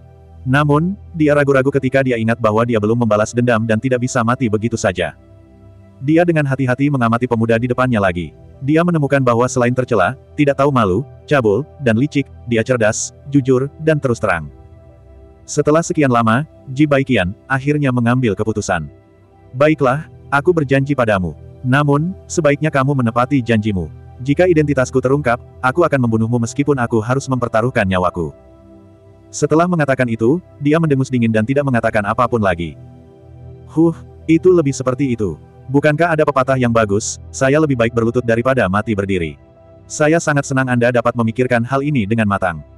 Baiklah, Mari kita mulai menjawab pertanyaanku. Mengapa kamu tidak memberitahuku tentang identitasmu dulu? Luo Ping sedang dalam suasana hati yang sangat baik. Ji Baikian, sangat muak dengan kata-kata dan tindakan pihak lain. Dia hanya bisa menyaring beberapa kata. Ji Baikian, adalah ayahku. Namaku Ji Qiuyao. Ayahku meninggal setahun yang lalu. Saat Ji Qiuyao menyebutkan ini, dia merasa sedih. Lalu bagaimana ayahmu meninggal? Kenapa kamu berpura-pura menjadi ayahmu? Luo Ping terus bertanya. Ayahku dibunuh oleh pria berjubah hitam dan serigala api. Aku berpura-pura menjadi ayahku untuk membalas dendam. Setelah mendengarkan penjelasan Ji Yao, Luo Ping memahami keseluruhan ceritanya. Setahun yang lalu, seorang pria misterius berjubah hitam datang ke Firewolf Bastion dan langsung mencari Firewolf. Setelah keduanya bertemu, mereka mengobrol lebih dari enam jam sebelum pria berjubah hitam itu pergi. Tidak ada yang tahu apa yang mereka bicarakan, dan tidak ada yang tahu identitas pria berjubah hitam itu. Namun, setengah bulan kemudian, pria berjubah hitam itu datang ke benteng itu lagi dengan lebih dari sepuluh pengikut. Semuanya tanpa ekspresi dan suram. Bastion Master dengan cepat mengatur tempat tinggal pria berjubah hitam itu dan membangun platform tinggi untuk dia bercocok tanam. Dalam waktu kurang dari dua hari, Bastion Master mencari Jibaikian dan mengatakan bahwa dia memiliki sesuatu yang penting untuk dibicarakan. Setelah Jibaikian tiba, dia menemukan pria berjubah hitam itu juga di sana. Meski terkejut, dia tetap duduk dan menunggu perintah Bastion Master. Namun, dia tidak menyangka, serigala api, akan mengajukan permintaan yang keterlaluan seperti itu. Ternyata pria berjubah hitam itu berencana untuk melatih keterampilan Neigong yang sangat mendalam. Pada awal keterampilan ini, seseorang perlu menyedot esensi orang jahat sebagai panduan untuk sukses. Jibaikian adalah orang yang dia pilih untuk dihisap. Ketika Jibaikian mendengar hal itu, tentu saja dia tidak setuju. Dia berdebat dengan Bastion Master. Setelah mengikutinya selama bertahun-tahun, meskipun dia tidak memberikan kontribusi apa pun, dia masih sangat menderita. Dia tidak bisa membakar jembatan setelah melewatinya. Namun, serigala api, berulang kali berjanji bahwa pria berjubah hitam itu tidak akan mengambil nyawanya. Selama dia menyedot cukup esensi, pria berjubah hitam itu akan berhenti. Meski begitu, Jibaikian tetap tidak setuju. Ketika dia hendak pergi, serigala api, mengancamnya dengan keselamatan keluarganya, memaksanya untuk tunduk. Jadi ayahmu akhirnya menyetujui permintaan mereka. Namun, pria berjubah hitam itu tidak memenuhi janjinya dan ayahmu akhirnya terbunuh. Apakah saya benar? Ya, mereka hanya berbohong kepada ayahku. Namun, ayahku tidak langsung mati. Dia meninggal setelah pulang ke rumah. Ini yang ayahku katakan padaku sebelum dia meninggal. Ternyata Jibaikian tidak ingin Ji Yao muda bersentuhan dengan lingkungan sekitarnya. Dia juga tidak ingin dia berlatih seni bela diri. Oleh karena itu, dia membiarkan ibunya membawanya untuk tinggal di desa pegunungan terpencil. Dia hanya mengunjungi mereka sesekali dan memberi mereka sejumlah uang. Adapun Ji Yao, dia tidak berlatih seni bela diri sampai dia berumur 10 tahun. Ketika dia berumur 10 tahun, seorang lelaki tua tiba-tiba muncul di desa dan mengubah hidupnya. Orang tua itu awalnya adalah seorang Qianhu. Karena terluka dalam pertempuran dan terlalu tua, dia meminta pensiun dan kembali ke kampung halamannya. Ketika dia kembali ke desa, lelaki tua itu melihat Ji Yao untuk pertama kalinya. Dia mengatakan bahwa dia cocok untuk berlatih seni bela diri dan merupakan bibit yang baik. Dia ingin menjadikannya sebagai muridnya dan mengajarinya seni bela diri. Ji Yao selalu ingin berlatih seni bela diri. Sekarang dia memiliki kesempatan, tentu saja dia tidak menolaknya. Dia menyembunyikannya dari orang tuanya dan diam-diam mengakui seorang master. Dalam sekejap mata, delapan tahun telah berlalu. Meskipun Ji Yao terlambat mulai berkultivasi dan tidak memiliki sumber daya budidaya sebesar keluarga besar, dia masih berhasil mencapai tahap tengah master bela diri dengan usaha dan bakatnya yang luar biasa. Dia mencapai level yang sama dengan ayahnya. Karena dia merahasiakannya, orang tuanya tidak mengetahuinya sama sekali. Satu tahun yang lalu, setelah dia pulang dari tempat majikannya, dia membantu ibunya mengerjakan pekerjaan rumah seperti biasa. Tiba-tiba, Ji Baikian kembali ke rumah dengan ekspresi putus asa. Matanya tidak bernyawa dan dia duduk di sana tanpa mengucapkan sepatah kata pun. Ji Yao dan ibunya sangat khawatir saat melihat ini. Setelah banyak bertanya, Ji Baikian akhirnya mengatakan yang sebenarnya kepada mereka. Sebelum dia pergi, pria berjubah hitam itu memberitahunya bahwa dia bisa hidup atau tidak bergantung pada keberuntungannya. Ketika Ji Baikian mendengar ini, dia tahu bahwa dia sudah dikutuk. Oleh karena itu, ia buru-buru pulang ke rumah, berharap bisa bertemu istri dan putrinya untuk yang terakhir kalinya. Wuh. Setelah Ji Qiuyao selesai berbicara, air mata kembali mengalir di pipinya. Air mata mengalir di wajahnya yang cantik namun pucat sampai ke tanah. Beberapa tetes air mata juga menggantung di dagunya, berkilau dan bening, berkilau dan halus seperti mutiara. Melihat wajahnya yang menangis, Luo Ping tanpa daya mengeluarkan sapu tangan dan menyerahkannya padanya. Kali ini, Ji Qiuyao tidak menolak dan langsung mengambilnya untuk menyeka air matanya. Kakak. Ah. Suara mendesing. Wuh. Saat Ji Qiuyao membuka mulutnya untuk menjawab, Luo Ping dengan cepat melemparkan pil hitam ke dalam mulutnya. Kemudian, dia menutup mulutnya dan menepuk punggungnya. Kamu memberiku makan apa, orang yang tercela? Ketika Ji Qiuyao melihat Luo Ping memberinya sapu tangan, jejak perasaan baik yang muncul di hatinya segera menghilang, dan dia membuka mulut untuk mengutuk. Oh, bukan apa-apa. Itu hanya, pil tulang paru-paru yang membelah hati yang menusuk hati. Itu tidak banyak berpengaruh. Jika terjadi, jantung dan paru-paru akan pecah, usus pecah, dan tulang hilang. Itu akan berlangsung selama 2 hingga 4 jam dan Anda akan mati dengan damai. Tidak ada rasa sakit yang hebat. Luo Ping mulai melebih-lebihkan lagi untuk menakutinya. Semakin dia mengatakannya dengan santai, semakin dia ketakutan. Benar saja, ketika Ji Qiuyao mendengar bahwa obatnya sangat buruk, wajah awalnya yang pucat menjadi semakin pucat. Dia hanya bisa menatap tajam ke arahnya, berharap dia bisa memotongnya menjadi beberapa bagian. Luo Ping tidak peduli dengan apa yang dia pikirkan. Saat ini, dia sudah berdiri. Simpanlah sapu tangan itu dengan baik, kalau-kalau kamu menangis lagi nanti. Ji Qiuyao mengambil sapu tangan itu dan hendak membuangnya, tapi dia mendengar kata-kata kebencian itu. Kamu boleh membuangnya, tapi sulit untuk mengatakan apakah kamu bisa mendapatkan penawar untuk pil menusuk jantung yang membelah paru-paru yang memilukan. Lengannya yang terangkat tiba-tiba berhenti. Sambil mendengus dingin, dia hanya bisa menahan amarahnya dan mengambil sapu tangan di tangannya.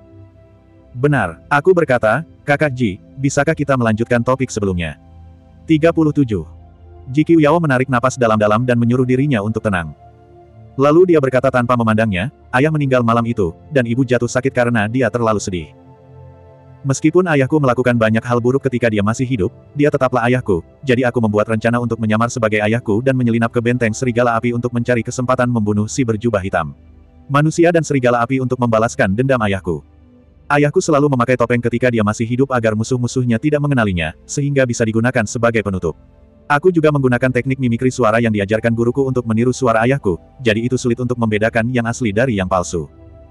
Pada hari kedua, aku muncul di benteng Serigala Api. Serigala Api dan pria berjubah hitam hanya terkejut sebentar dan mengira ayahku beruntung, jadi mereka tidak curiga apa pun.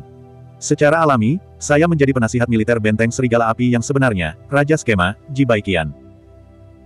Luo Ping mendengarkan dengan tenang, dan setelah dia selesai berbicara, dia berkata, pada dasarnya aku mengerti apa yang terjadi antara kamu dan ayahmu sekarang, jadi mari kita lanjutkan ke pertanyaan berikutnya. Apa identitas pria berjubah hitam itu? Mengapa benteng serigala api menyerang geng kekuatan besi? Ini jelas merupakan dua pertanyaan. Ji Yao benar-benar terdiam. Lagi pula kamu harus menjawabnya, jadi apa bedanya bertanya satu per satu atau dua sekaligus? Anda dapat memilih untuk tidak menjawab. Ah iya, jantung dan paru-parunya patah, Aiya, ususnya patah, tulangnya patah, sungguh wanita yang cantik. Luo Ping berpura-pura menutupi wajahnya dengan tangannya saat dia berbicara. Sudah cukup, jangan menangis air mata buaya, aku akan memberitahumu. Sejak aku memasuki benteng Serigala Api, aku telah mencari kesempatan untuk membalaskan dendam ayahku, tetapi mereka berdua biasanya memiliki pengikut di sisinya, dan kemampuan Serigala Api jauh lebih tinggi daripada milikku, jadi jika aku tidak melakukannya menyerang mereka secara diam-diam, aku tidak akan memiliki kepercayaan diri untuk menang sama sekali. Meskipun aku tidak tahu seberapa kuat sebenarnya pria berjubah hitam itu, aku yakin dia lebih kuat dari Firewolf. Meskipun pada akhirnya saya tidak berhasil, saya menemukan beberapa rahasia mereka. Pada titik ini, Ji Qiuyao melihat Luo Ping memasang ekspresi serius di wajahnya dan mendengarkan dengan penuh perhatian. Ji Qiuyao tiba-tiba berhenti, ingin membangkitkan nafsu makannya. Setelah Luo Ping memahami pikiran pihak lain, dia tertawa dan berkata, Kakak Ji, kamu benar-benar terlalu nakal. Kamu benar-benar membuat orang khawatir. Aku memperingatkanmu, jangan panggil aku kakak. Saya tidak setua itu. Ji Qiuyao menunjuk ke kepala Luo Ping dan berkata dengan marah. Baiklah, kalau kamu tidak mau memanggilku kakak, biarlah. Kenapa kamu begitu marah? Nona muda, silakan lanjutkan. Suara mendesing. Begitu suara Luo Ping turun, sebuah batu bersiul melewati telinganya. Jika dia tidak bereaksi dengan cepat, dia akan terkena pukulannya. Sai, hanya wanita dan penjahat yang sulit dihadapi. Lupakan saja, kenapa aku tidak memanggilmu Kiu Kiu atau Yao Yao. Tidak, lebih baik memanggilmu Sister Qiuyao. Bisakah kamu memberitahuku sekarang? Rahasia apa yang kamu temukan? Luo Ping melihat mata pihak lain memancarkan cahaya mematikan dan ekspresi ingin membunuhnya, jadi dia hanya bisa berkompromi. Melihat Luo Ping akhirnya menyerah, ekspresi Ji Yao perlahan kembali normal. Huff, setidaknya kamu tahu apa yang baik untukmu. Rahasia ini harus dimulai dari identitas pria berjubah hitam dan rencana rahasianya dengan Fire Wolf. Ternyata untuk membalas dendam, Ji Yao diam-diam menyelinap ke kamar serigala api dan berencana mengambil kesempatan itu untuk melancarkan serangan diam-diam. Namun, dia tiba-tiba mendengar seseorang mendiskusikan sesuatu di dalam. Karena jaraknya terlalu jauh dan dia tidak bisa mendengar dengan jelas, dia takut pihak lain akan menyadarinya, jadi dia menggunakan teknik menahan nafas yang diajarkan gurunya dan mendekat perlahan. Dua orang di dalamnya adalah serigala api dan pria berjubah hitam. Saat itu, serigala api sedang bertanya kepada pria berjubah hitam itu, Saudara Wu, apakah kamu yakin ingin melakukan ini? Jika hal ini dilakukan maka akan menimbulkan kemarahan masyarakat. Jika geng Harimau Fang mengarahkan tombaknya ke arah kita, maka itu akan sangat merugikan. Suara pria berjubah hitam itu segera terdengar, Saudara Liang, yakinlah. Target utama kami adalah geng kekuatan besi dan juga desa-desa kecil di sekitarnya. Adapun geng Harimau Fang dan Balai Penyu Raksasa, jika kami tidak melakukannya memprovokasi mereka, mereka tidak akan datang mencari masalah. Setelah aku menguasai teknik ketuhananku, aku akan membantu Saudara Liang menyatukan pegunungan awan merah. Akhirnya, aku akan menempati posisi pertama dari sepuluh geng teratas. Hahaha. Setelah hening beberapa saat, serigala api berbicara lagi, Saudara Wu, saya selalu ingin mengajukan pertanyaan kepada Anda. Mengapa Anda datang jauh-jauh dari negara bangga besar ke Kabupaten Nandan? Dan mengapa Anda ingin menghancurkan besi geng kekuatan? Pria berjubah hitam itu terkekeh dan berkata, sebenarnya, tidak ada yang disembunyikan. Saat aku datang ke negaramu di masa lalu, aku berselisih hidup dan mati dengan Centili. Hari ini, aku ingin menghancurkan geng kekuatan besi saja untuk membalas dendam. Ji Yao melihat ekspresi Luo Ping saat dia berbicara. Dia ingin melihat sesuatu, tapi Luo Ping tidak berekspresi. Dia setenang air dan tidak mengungkapkan apa pun. Menurut apa yang kamu katakan, pria berjubah hitam itu datang dari negara bangga besar dan datang ke Kabupaten Nandan untuk menghancurkan geng kekuatan besi. Tapi aku merasa segalanya tidak sesederhana itu. Kenapa kamu tidak memberitahuku rahasianya? Luo Ping berpikir sejenak sebelum berbicara. Teknik menahan nafasku hanya bisa bertahan sebentar. Aku tidak melanjutkan mendengarkan percakapan selanjutnya. Melihat ekspresi Luo Ping yang tidak ramah, Ji Yao tersenyum manis dan berkata, namun, kemudian, saya bersembunyi di dekat platform tinggi pria berjubah hitam itu dan mendengar percakapan antara dia dan para pengikutnya. Baru pada saat itulah saya mengetahui rahasia mengejutkannya. Rahasia mengejutkan apa itu? Luo Ping tanpa sadar bertanya. Aduh, aku pernah terluka sebelumnya. Seluruh tubuhku sakit. Kalau ada yang memijat bahu dan kakiku, aku akan senang. Mungkin aku akan mempertimbangkan untuk memberitahunya sesuatu. Ji Yao memijat bahunya dan tampak sangat kesakitan. Dia melirik Luo Ping dari waktu ke waktu dari sudut matanya. Maksudnya jelas, datang dan pijat bahu dan kaki saya. Kalau tidak, jangan harap aku memberitahumu rahasia apa pun. Luo Ping memandang dengan dingin dan tidak punya niat untuk bergerak. Hal ini membuat Ji Yao kembali marah. Rahasia ini ada hubungannya dengan hidup dan mati Kabupaten Nandan. Tepatnya, ini berhubungan dengan hidup dan mati pemerintah daerah. Kalau tidak mau tahu, lupakan saja. Aduh, kakiku sakit. Ketika Luo Ping mendengar bahwa ini ada hubungannya dengan pemerintah daerah, dan ini adalah masalah hidup dan mati, dia berpikir sejenak. Wajahnya tiba-tiba menjadi rileks, memperlihatkan senyuman sehangat angin musim semi. Sister Qiu Yao, kamu seharusnya memberitahuku sebelumnya bahwa kamu sedang tidak enak badan.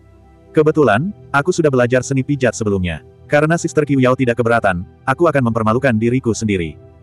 Saat dia berbicara, dia mengulurkan tangannya, menyingsingkan lengan bajunya, dan berjalan cepat ke sisi Ji Qiu. Dia mulai memijat bahunya. Ji Yao melihat ekspresi tercela pihak lain dan merasakan tatapan jahatnya. Tiba-tiba, dia merasa seperti anak domba yang memasuki sarang harimau dan bertemu iblis.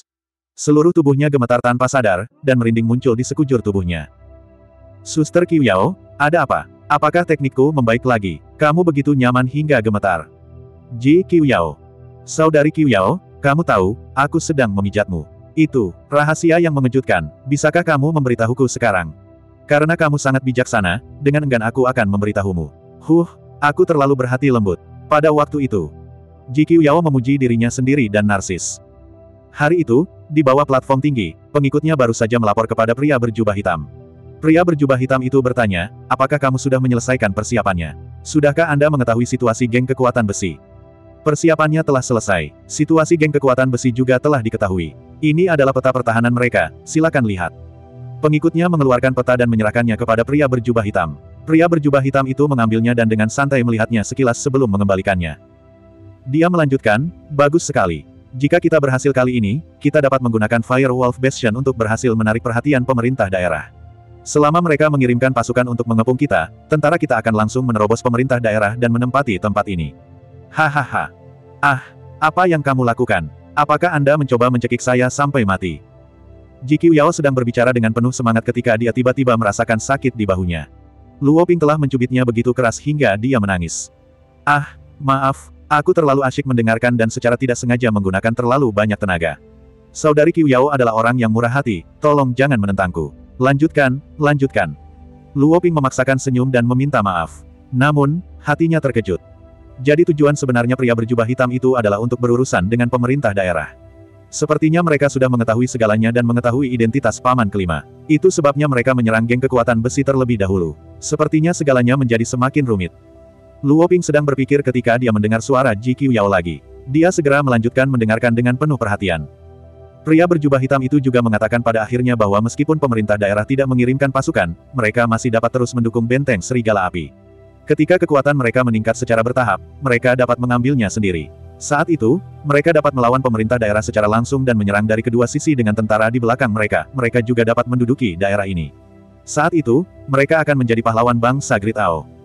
Pria berjubah hitam itu menjadi gila pada akhirnya. Pengikutnya juga berkata dengan penuh semangat, Terima kasih, Tuan Utusan, atas bantuan Anda. Kami pasti akan melakukan apa pun untuk Anda. Setelah itu keduanya tertawa terbahak-bahak. Baiklah, itu saja, hanya itu yang ku dengar. Jiki Yao melambaikan tangannya, menunjukkan bahwa dia telah mengatakan semua yang dia tahu. Saudari Yao, informasi yang Anda dengar sangat berharga. Anda akan menjadi penyelamat seluruh Kabupaten Nandan. Ini sudah larut, kita harus kembali. Saya ingin tahu bagaimana pertempuran di sana. Luo Ping sudah berhenti memijat dan berkata dengan sungguh-sungguh. Aku ingin tahu bagaimana rencanamu untuk melindungi hidupku saat kita kembali ke geng kekuatan besi. Kamu harus tahu bahwa mereka semua sangat membenciku. Ji Yao menanyakan pertanyaan kunci saat ini. Hanya berdasarkan informasi yang baru saja kamu berikan, itu sudah cukup untuk ditukar dengan nyawamu. Jika waktunya tiba, saya akan berbicara mewakili Anda dan menjamin Anda akan aman. Luo Ping berkata dengan percaya diri. Meskipun Ji Yao masih ragu, dia tidak punya pilihan lain selain mempercayainya. Keduanya tidak menunda dan mulai kembali ke geng kekuatan besi. Pedang dan pedang berkilat, teriakan mengguncang langit, anggota badan patah dan darah mengalir seperti sungai. Seluruh geng kekuatan besi telah menjadi kuburan. Udara dipenuhi bau darah. Gerbang batu tebal itu masih berdiri di depan gerbang kota. Namun, kedua sisi tembok kota telah dibuka. Orang-orang yang tersisa di luar menara semuanya memasuki kota untuk bertarung. Serigala api dan pria berjubah hitam juga telah menghilang. Tidak ada yang tahu di mana mereka bertarung dengan saudara-saudara dari geng kekuatan besi. 38. Ada apa, ikan tua? Kamu tidak bisa melakukannya secepat ini. Kamu sudah sangat tua, jadi jangan keluar untuk berkelahi dan membunuh. Bukankah lebih baik pulang saja dan melakukan beberapa hal? Menari, lihat dirimu sekarang. Kamu akan mati. Huff, bajingan, apa gunanya menggunakan racun untuk menyerang secara diam-diam? Itu tindakan orang yang tercela. Yu Gengnian sangat marah. Ternyata meskipun Centong telah melukai Yu Gengnian, dia tetaplah orang yang berpengalaman dan licik. Saat Centong tidak waspada, dia justru berbalik dan menusuk bahu Centong. Hal ini membuat Centong sangat tidak senang, jadi dia tidak ingin membuang waktu dan tenaga. Dia diam-diam menaburkan bubuk pelembut tulang pada lawannya. Akibatnya Yu Gengnian terluka parah oleh Centong dan menjadi seperti ini. Namun, Yu Gengnian ini tidak sederhana. Dia tidak tertidur. Meskipun efek bedaknya telah hilang, dia tidak memiliki kekuatan untuk bertarung lagi. Ikan tua, kamu sudah sangat tua. Pernahkah kamu mendengar, yang menang adalah raja dan yang kalah adalah bandit? Sebuah langkah yang bisa menang adalah kemampuan sejati. Tidak ada yang namanya pria terhormat atau orang yang tercela. Jika Anda tidak mengetahui hal ini, Anda telah menyia-nyiakan hidup Anda. Centong kembali bersikap menguliahi. Melihat hembusan dingin dan keheningan Yu Gengnian, Centong tidak menyia-nyiakan kata-kata lagi. Setelah menjatuhkannya lagi, dia mengikatnya dan menyerahkannya kepada saudara-saudara dari geng kekuatan besi. Dia berencana untuk menemukan ayahnya dan melihat bagaimana keadaan mereka. Eh, Sepupu Ping, kamu juga menangkap Ji Baikian hidup-hidup. Menurutku ketiga tetua benteng serigala api tidak sebaik itu. Ketika Centong berjalan ke gerbang kota ketiga, dia melihat Luo Ping berdiri di sana bersama Ji Baikian. Kali ini, Ji Qiuyao kembali memakai topeng dan berpura-pura menjadi Ji Baikian. Tubuhnya diikat. Mendengar suara Centong, Luo Ping berbalik dan tersenyum.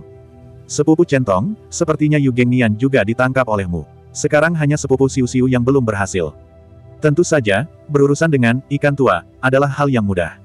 Eh, di mana kakak kedua? Dia begitu fokus bertukar pukulan dengan ikan tua, sehingga dia tidak menyadari di mana kakak kedua dan Leng Qinghai bertarung. Chen Tong berjalan ke arah Luo Ping dan berkata dengan gembira. Luo Ping menoleh dan menunjuk ke depan. Di sana, di sana. Sepupu Siu Siu bukan tandingan Leng Qinghai dalam hal kekuatan fisik, jadi dia tidak bisa menjatuhkannya. Mengikuti arah jari Luo Ping, Chen Tong memang melihat sekitar 70 hingga 80 kaki jauhnya, Chen Siu Siu masih bertarung dengan Leng Qinghai. Keduanya berada dalam situasi yang sulit. Chen Siu Siu mengandalkan kecepatan teknik tubuh asap mengambang dan kelembutan teknik pedang ritual Phoenix untuk mencegah lawannya menyerangnya. Pihak lain mengandalkan keunggulan kekuatan fisik dan gerakannya yang ganas dan bervariasi untuk mencegah Chen Siu Siu melukainya. Oleh karena itu, mereka berdua telah berjuang dalam pertempuran gesekan. Semakin lama pertempuran berlangsung, Chen Siu Siu merasa semakin lelah. Lambat laun, dia jatuh ke posisi yang tidak menguntungkan. Namun, kekuatan lawannya tidak berkurang sama sekali. Mengayunkan dan menghancurkan tongkatnya yang berduri, itu mengeluarkan suara siulan. Kakak kedua jelas tidak bisa bertahan lebih lama lagi. Haruskah kita bergerak? Chen Tong mengkhawatirkan keselamatan Chen Xiu Xiu. Saat ini, dia mulai merasa gugup. Sepupu Chen Tong, kami bisa membantu untuk sementara, tapi tidak selamanya. Pada akhirnya, dia tetap harus mengandalkan dirinya sendiri. Namun, kita bisa mengalihkan perhatian Leng Qinghai dan mengurangi tekanan pada sepupu Xiu Xiu. Luo Ping berkata dengan rasional. Kau benar, alihkan perhatiannya, itu mudah. Kata Chen Tong dan berteriak kepada dua orang yang bertarung di depannya. Leng Qinghai, sebaiknya kamu menyerah dengan patuh. Aku sudah memotong ikan tua menjadi beberapa bagian. Jibaikian juga telah ditangkap oleh kami. Jika kamu tidak percaya padaku, lihatlah. Leng Qinghai, yang sedang berkonsentrasi pada pertempuran, tanpa sadar melihat ke arah Chen Tong ketika dia mendengar ini. Dia melihat Jibaikian diikat dan ditahan di sana. Di sampingnya ada dua pemuda yang dia temui sebelumnya. Meskipun dia tidak melihat Yu Gengnian, tetapi menurut arti kata-kata pemuda itu, dia seharusnya sudah mati. Nak, jangan coba-coba mengganggu pikiranku. Bahkan jika mereka ditangkap, selama aku menangkap gadis kecil ini, aku akan lihat apa yang bisa kamu lakukan padaku. Leng Qinghai memahami pikiran Luo Ping dan yang lainnya. Dia tidak lagi memperhatikan mereka dan fokus menyerang dengan ganas. Tanpa diduga, dia menjadi lebih galak dari sebelumnya. Sepertinya dia ingin menangkap Chen Xiu Xiu secepat mungkin. Oh tidak, itu malah menjadi bumerang. Leng Qinghai sekarang putus asa dan tidak memiliki pikiran yang mengganggu. Sepupu Xiu Xiu dalam bahaya. Mari bersiap dan bergerak kapan saja. Luo Ping menepuk kepalanya. Dia sebenarnya tidak memikirkan hal ini. Menurutku kita tidak perlu bergerak. Lagi pula, kakak kedua juga punya, bubuk pelembut tulang, yang diberikan Paman Yin padanya. Dia bisa langsung menggunakannya. Kakak kedua mungkin cemas dan sudah melupakannya. Aku akan mengingatkannya. Chen Tong berteriak lagi ke seberang. Kakak ketiga, kamu lupa tentang barang yang diberikan Paman Yin padamu. Itu bisa berguna. Chen Xiu Xiu dipaksa menjadi bingung oleh pihak lain. Pada saat ini, mendengar pengingat Centong, dia tiba-tiba terbangun dan menyadari bahwa dia masih memiliki kartu truf yang belum dia gunakan. Dia langsung merasa lega dan mulai mencari peluang. Berkomplot melawan pihak lain, Leng Qinghai juga mendengarnya dengan jelas, tapi dia tidak tahu metode apa yang belum digunakan pihak lain. Karena itu, dia menjadi lebih berhati-hati dan gerakannya perlahan menjadi stabil. Setelah beberapa putaran, Chen Xiu Xiu melambaikan lengan bajunya dan bedak yang sulit dilihat dengan mata telanjang ditaburkan di sisi lainnya. Leng Qinghai tertangkap basah dan masih diserang. Lengannya berangsur-angsur menjadi lemah dan dia tidak dapat mengerahkan kekuatan apa pun. Dia juga merasa mengantuk. Leng Qinghai menyadari bahwa situasinya tidak baik. Dia tiba-tiba menyerang dengan ganas dan memaksa Chen Xiu Xiu mundur. Kemudian, dia lari ke kejauhan. Chen Xiu Xiu tidak mengejarnya, tetapi berjalan ke arah Luo Ping. Kakak, sepupu Ping, kalian semua berhasil. Bagaimana kamu bisa begitu cepat? Xiu Xiu sungguh memalukan. Wajah Chen Xiu Xiu penuh dengan keluhan. Kakak kedua, bukankah kamu menang sekarang? Aku yakin Leng Qinghai seharusnya jatuh sekarang. Chen Tong berkata dengan gembira.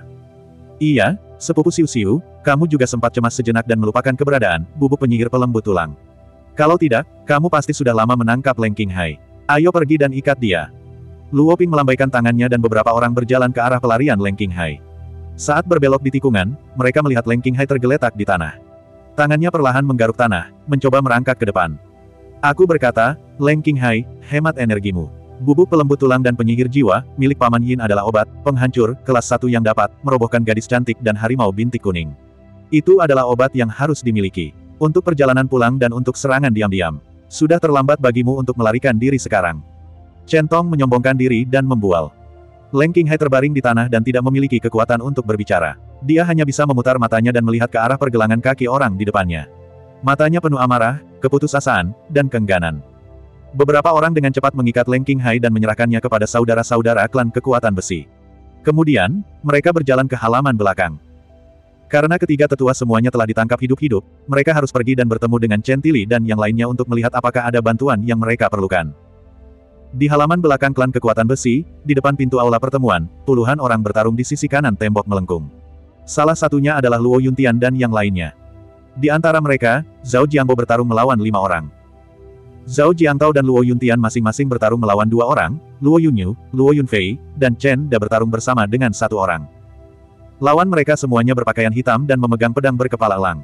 Kekuatan mereka berada pada tahap awal master bela diri, tetapi seni bela diri mereka sama. Gerakan mereka bagus dan mereka semua memiliki senjata tersembunyi. Tidak mungkin untuk mencegahnya. Meskipun Zhao Jiangbo dan yang lainnya tidak dirugikan, tidak mungkin mereka mengalahkan lawannya dalam waktu singkat. Di sisi lain medan perang, di sisi kiri tembok melengkung, ada empat orang berdiri berhadapan. Mereka tidak berbicara, tapi ada aura pembunuh yang kuat.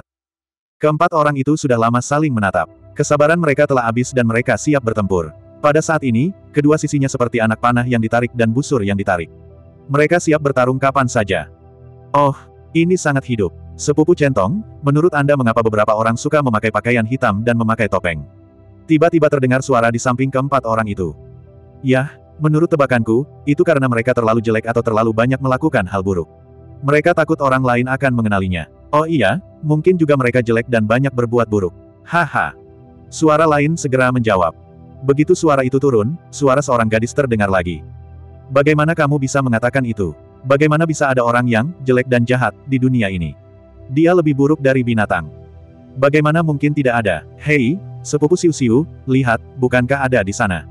Luo Ping menunjuk pria berjubah hitam itu dan berkata pada Chen Siu Siu. Ternyata begitu memasuki halaman belakang, mereka melihat situasi di lokasi kejadian. Oleh karena itu, setelah berdiskusi, mereka memutuskan untuk saling menyerang secara verbal hingga membuat marah.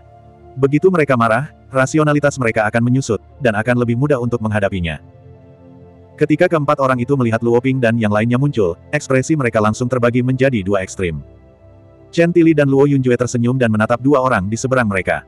Chen Tili berkata, sepertinya ketiga tetua desamu telah dimusnahkan. Haha, sayang sekali. Serigala api dan pria berjubah hitam sudah menebak hasilnya ketika mereka melihat Ji Baiqian diantar ke sini oleh Luo Ping dan dua lainnya.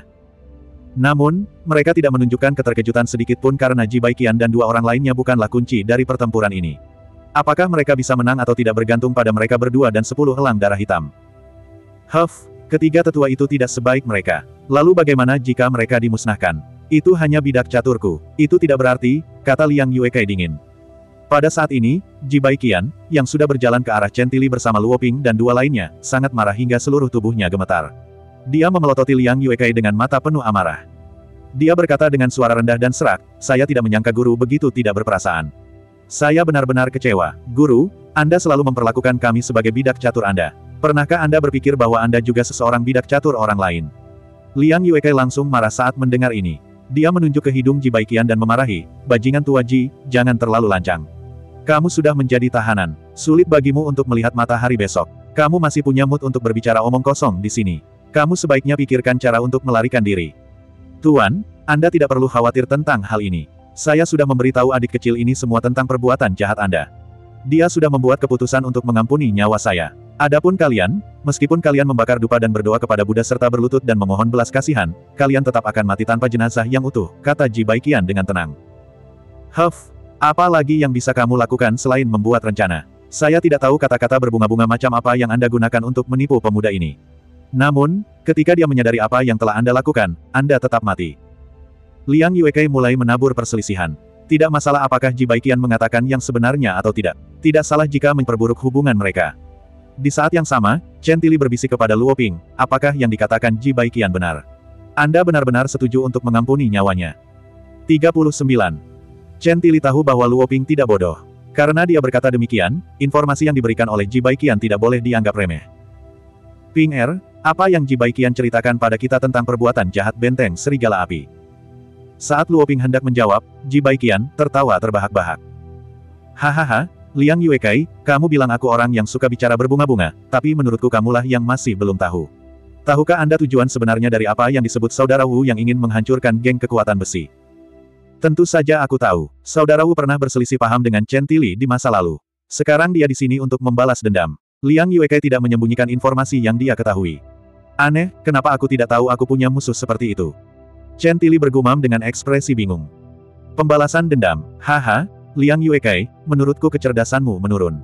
Jika dia ingin membalas dendam, dia bisa membawa anak buahnya untuk membunuh Chen Tili. Mengapa dia ingin bekerja denganmu? Kekuatannya jauh lebih tinggi dari Chen Tili. Jibaikian berhenti sejenak dan melanjutkan, tujuan Wutua yang sebenarnya adalah untuk menarik pasukan pemerintah kabupaten sehingga negara Ao besar dapat menyerang kabupaten Nandan dari belakang. Bahkan jika tentara pemerintah kabupaten tidak datang, dia akan terus mendukung Anda benteng Serigala Api untuk menyatukan pegunungan awan merah setelah dia menghancurkan geng kekuatan besi.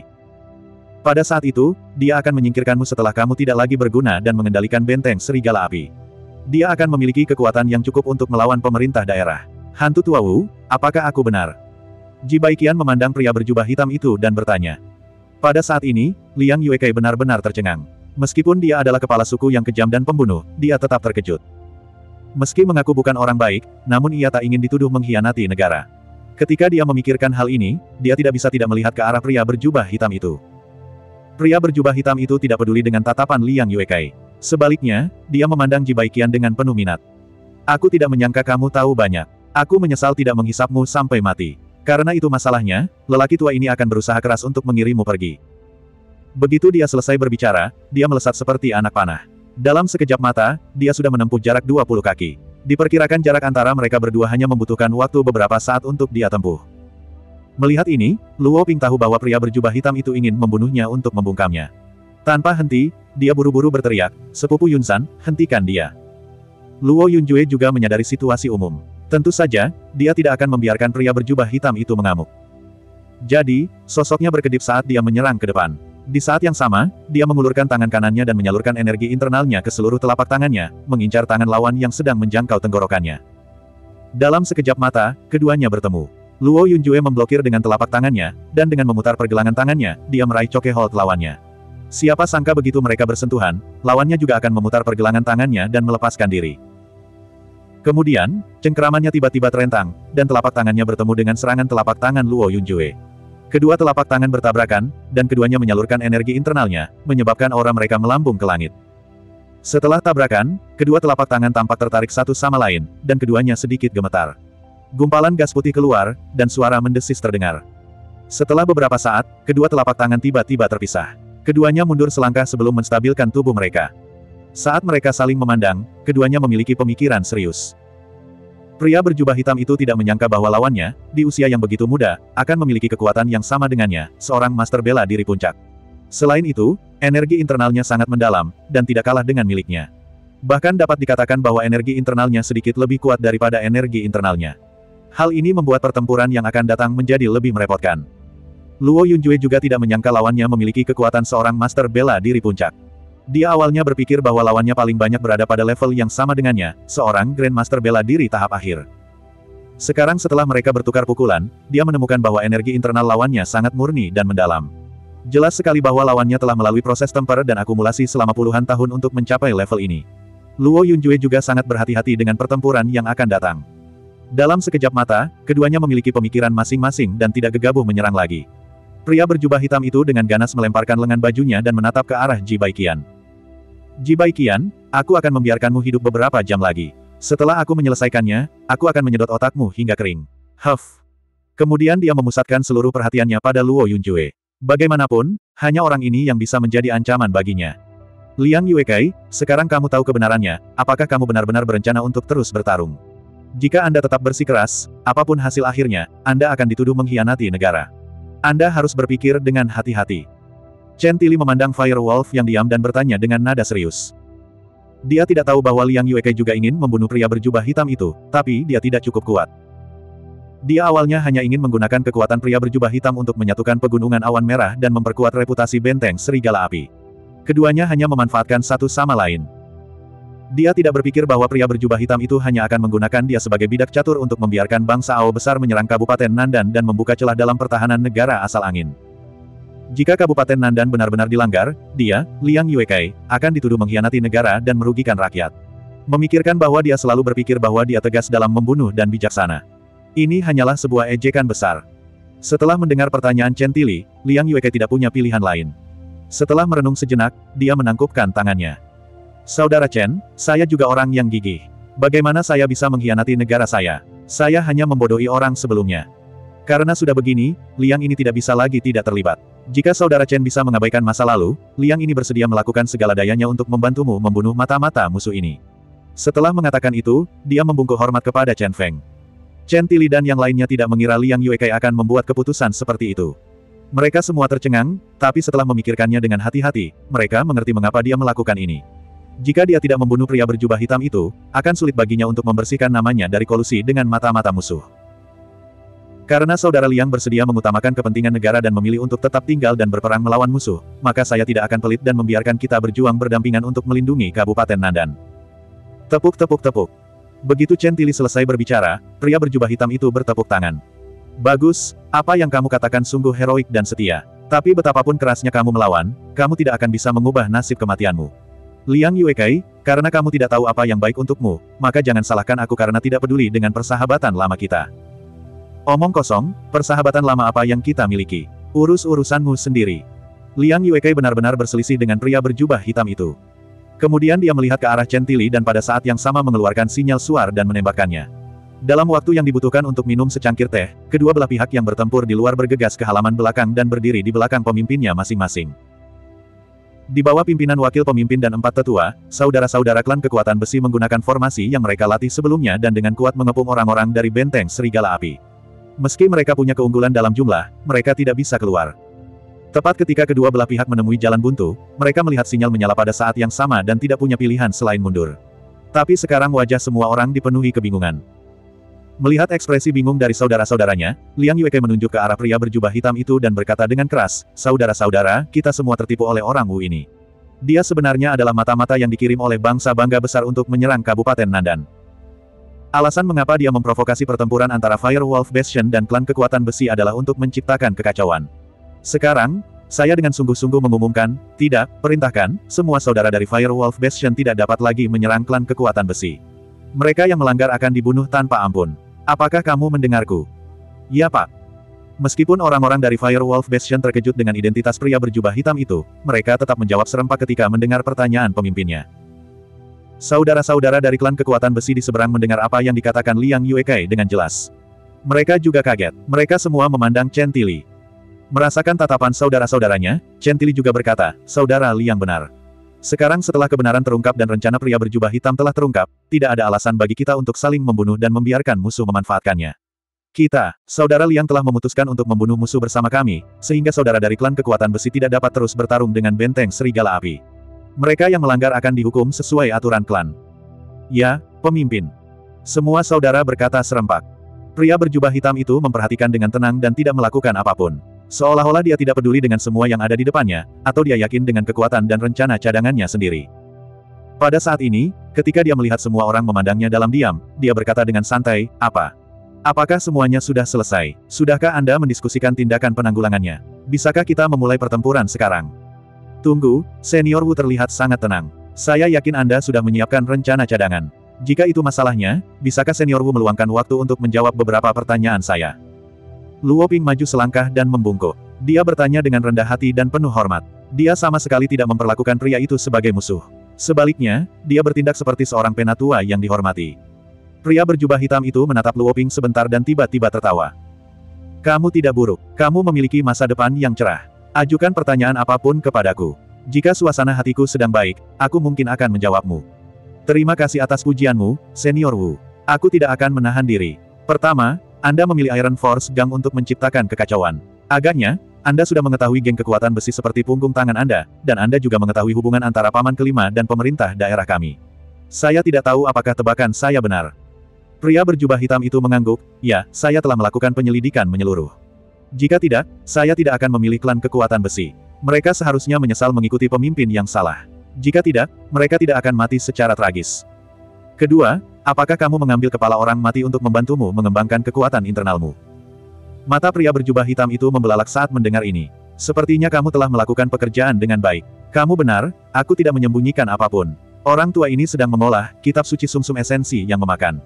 Aku harus terus-menerus mengonsumsi otak manusia. Setiap kali aku maju, aku perlu untuk mengonsumsi esensi manusia. Sejak saya datang ke negara asal angin Anda, bagaimana saya bisa melewatkan kesempatan bagus untuk berkultivasi? Hahaha. Kata-kata pria berjubah hitam itu membuat semua orang marah. Mereka mengertakkan gigi dan ingin memotongnya menjadi beberapa bagian. Namun, rasionalitas mereka mengatakan bahwa mereka bukanlah tandingan pria berjubah hitam. Meskipun Luoping juga mengetahui masalah ini seperti yang lainnya, dia masih merasakan ledakan kesedihan terhadap orang mati ketika dia mendengar pria berjubah hitam itu mengakuinya. Menekan emosi batinnya, Luoping terus bertanya, ketiga, saya yakin bangsa bangga besar tidak hanya mengirimkan sekelompok orang untuk menciptakan kekacauan di negara kita, bukan? Melihat tindakan Anda, apakah Anda mencoba memprovokasi perang antara kedua negara terlebih dahulu? Lelucon yang luar biasa, mungkinkah negara asal anginmu hanya mengirim satu atau dua mata-mata ke negara bangga besar kita? Mengenai apakah Anda ingin memprovokasi perang antara kedua negara, orang tua ini tidak tahu. Orang tua ini hanya mengikuti perintah. Berapa banyak orang yang kamu kirim? Apakah Anda juga memiliki orang di negara lain? Apakah ada orang dari negara kami yang berkolusi dengan Anda? Luoping menanyakan beberapa pertanyaan dalam satu tarikan napas. Dia sudah merasa bahwa bangsa bangga besar akan membuat langkah besar kali ini. Ia takut mereka memang ingin memprovokasi perang antara kedua negara. Baiklah, anak muda, orang tua ini sudah cukup menjawabmu. Jangan buang waktu lagi. Kamu akan mengetahui hal-hal lain ketika saatnya tiba. Sekarang, mari kita mulai dengan cepat. 40. Karena kamu sangat ingin mati, maka aku akan menemanimu. Luo Yunjue juga bersiap. Saudara-saudara, sebarkan dan perkuat pertahanan kalian untuk mencegah serangan diam-diam lagi. Tong Er, Ping Er, Siu Siu, kalian bertiga tetap di sini jika terjadi situasi yang tidak terduga. Setelah memberikan perintahnya, Chen Tili memandang Liang Yuekai. Ketika dia melihat bahwa Liang Yuekai juga telah memberikan perintahnya, dia tersenyum dan berkata, Saudara Liang, saya tidak berpikir bahwa akan ada hari di mana kita akan bertarung berdampingan. Ayo bantu tangani pria berpakaian hitam itu. Haha, Liang ini juga tidak menyangka. Ayo pergi dan regangkan tangan dan kaki kita. Setelah berbicara, keduanya bergegas ke sisi kanan tembok. Saat ini, bisa dikatakan semua orang sedang bekerja sama untuk bertahan melawan musuh asing. Di depan kepentingan negara, tidak ada keraguan. Ketika semua orang sudah berada di posisinya, pria berpakaian hitam dan Luo Yunjue juga mulai bergerak. Keduanya sangat cepat. Dalam sekejap mata, mereka bertabrakan dan mulai berkelahi. Awalnya mereka hanya menguji satu sama lain. Telapak tangan dan tinju mereka bertabrakan. Lambat laun, keduanya mulai memahami satu sama lain. Mereka mulai mengedarkan energi internal mereka dan bertarung tanpa menahan diri. Mendukung Willow Wind Palm. Luo Yunjue menyerang dengan telapak tangannya, membawa hembusan angin sejuk. Kelihatannya lembut, tapi nyatanya, penuh keuletan. Itu adalah serangkaian teknik telapak tangan kelas 1 yang memiliki kelembutan dan kekuatan di dalamnya. Luo Yunjue telah mempraktikkan teknik telapak tangan ini selama lebih dari 10 tahun. Dia telah mengalahkan banyak lawan kuat dengan teknik telapak tangan ini. Sekarang setelah dia menggunakannya, jelas betapa dia menghargai pria berpakaian hitam itu.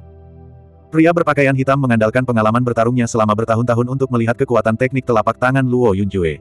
Dia bereaksi dalam sekejap mata dan juga menyerang dengan telapak tangannya. Bang! Gelombang ki yang menakjubkan muncul dari kedua telapak tangan. Ini dengan cepat menyebar ke sekitarnya. Keduanya dengan cepat mundur untuk menghindarinya.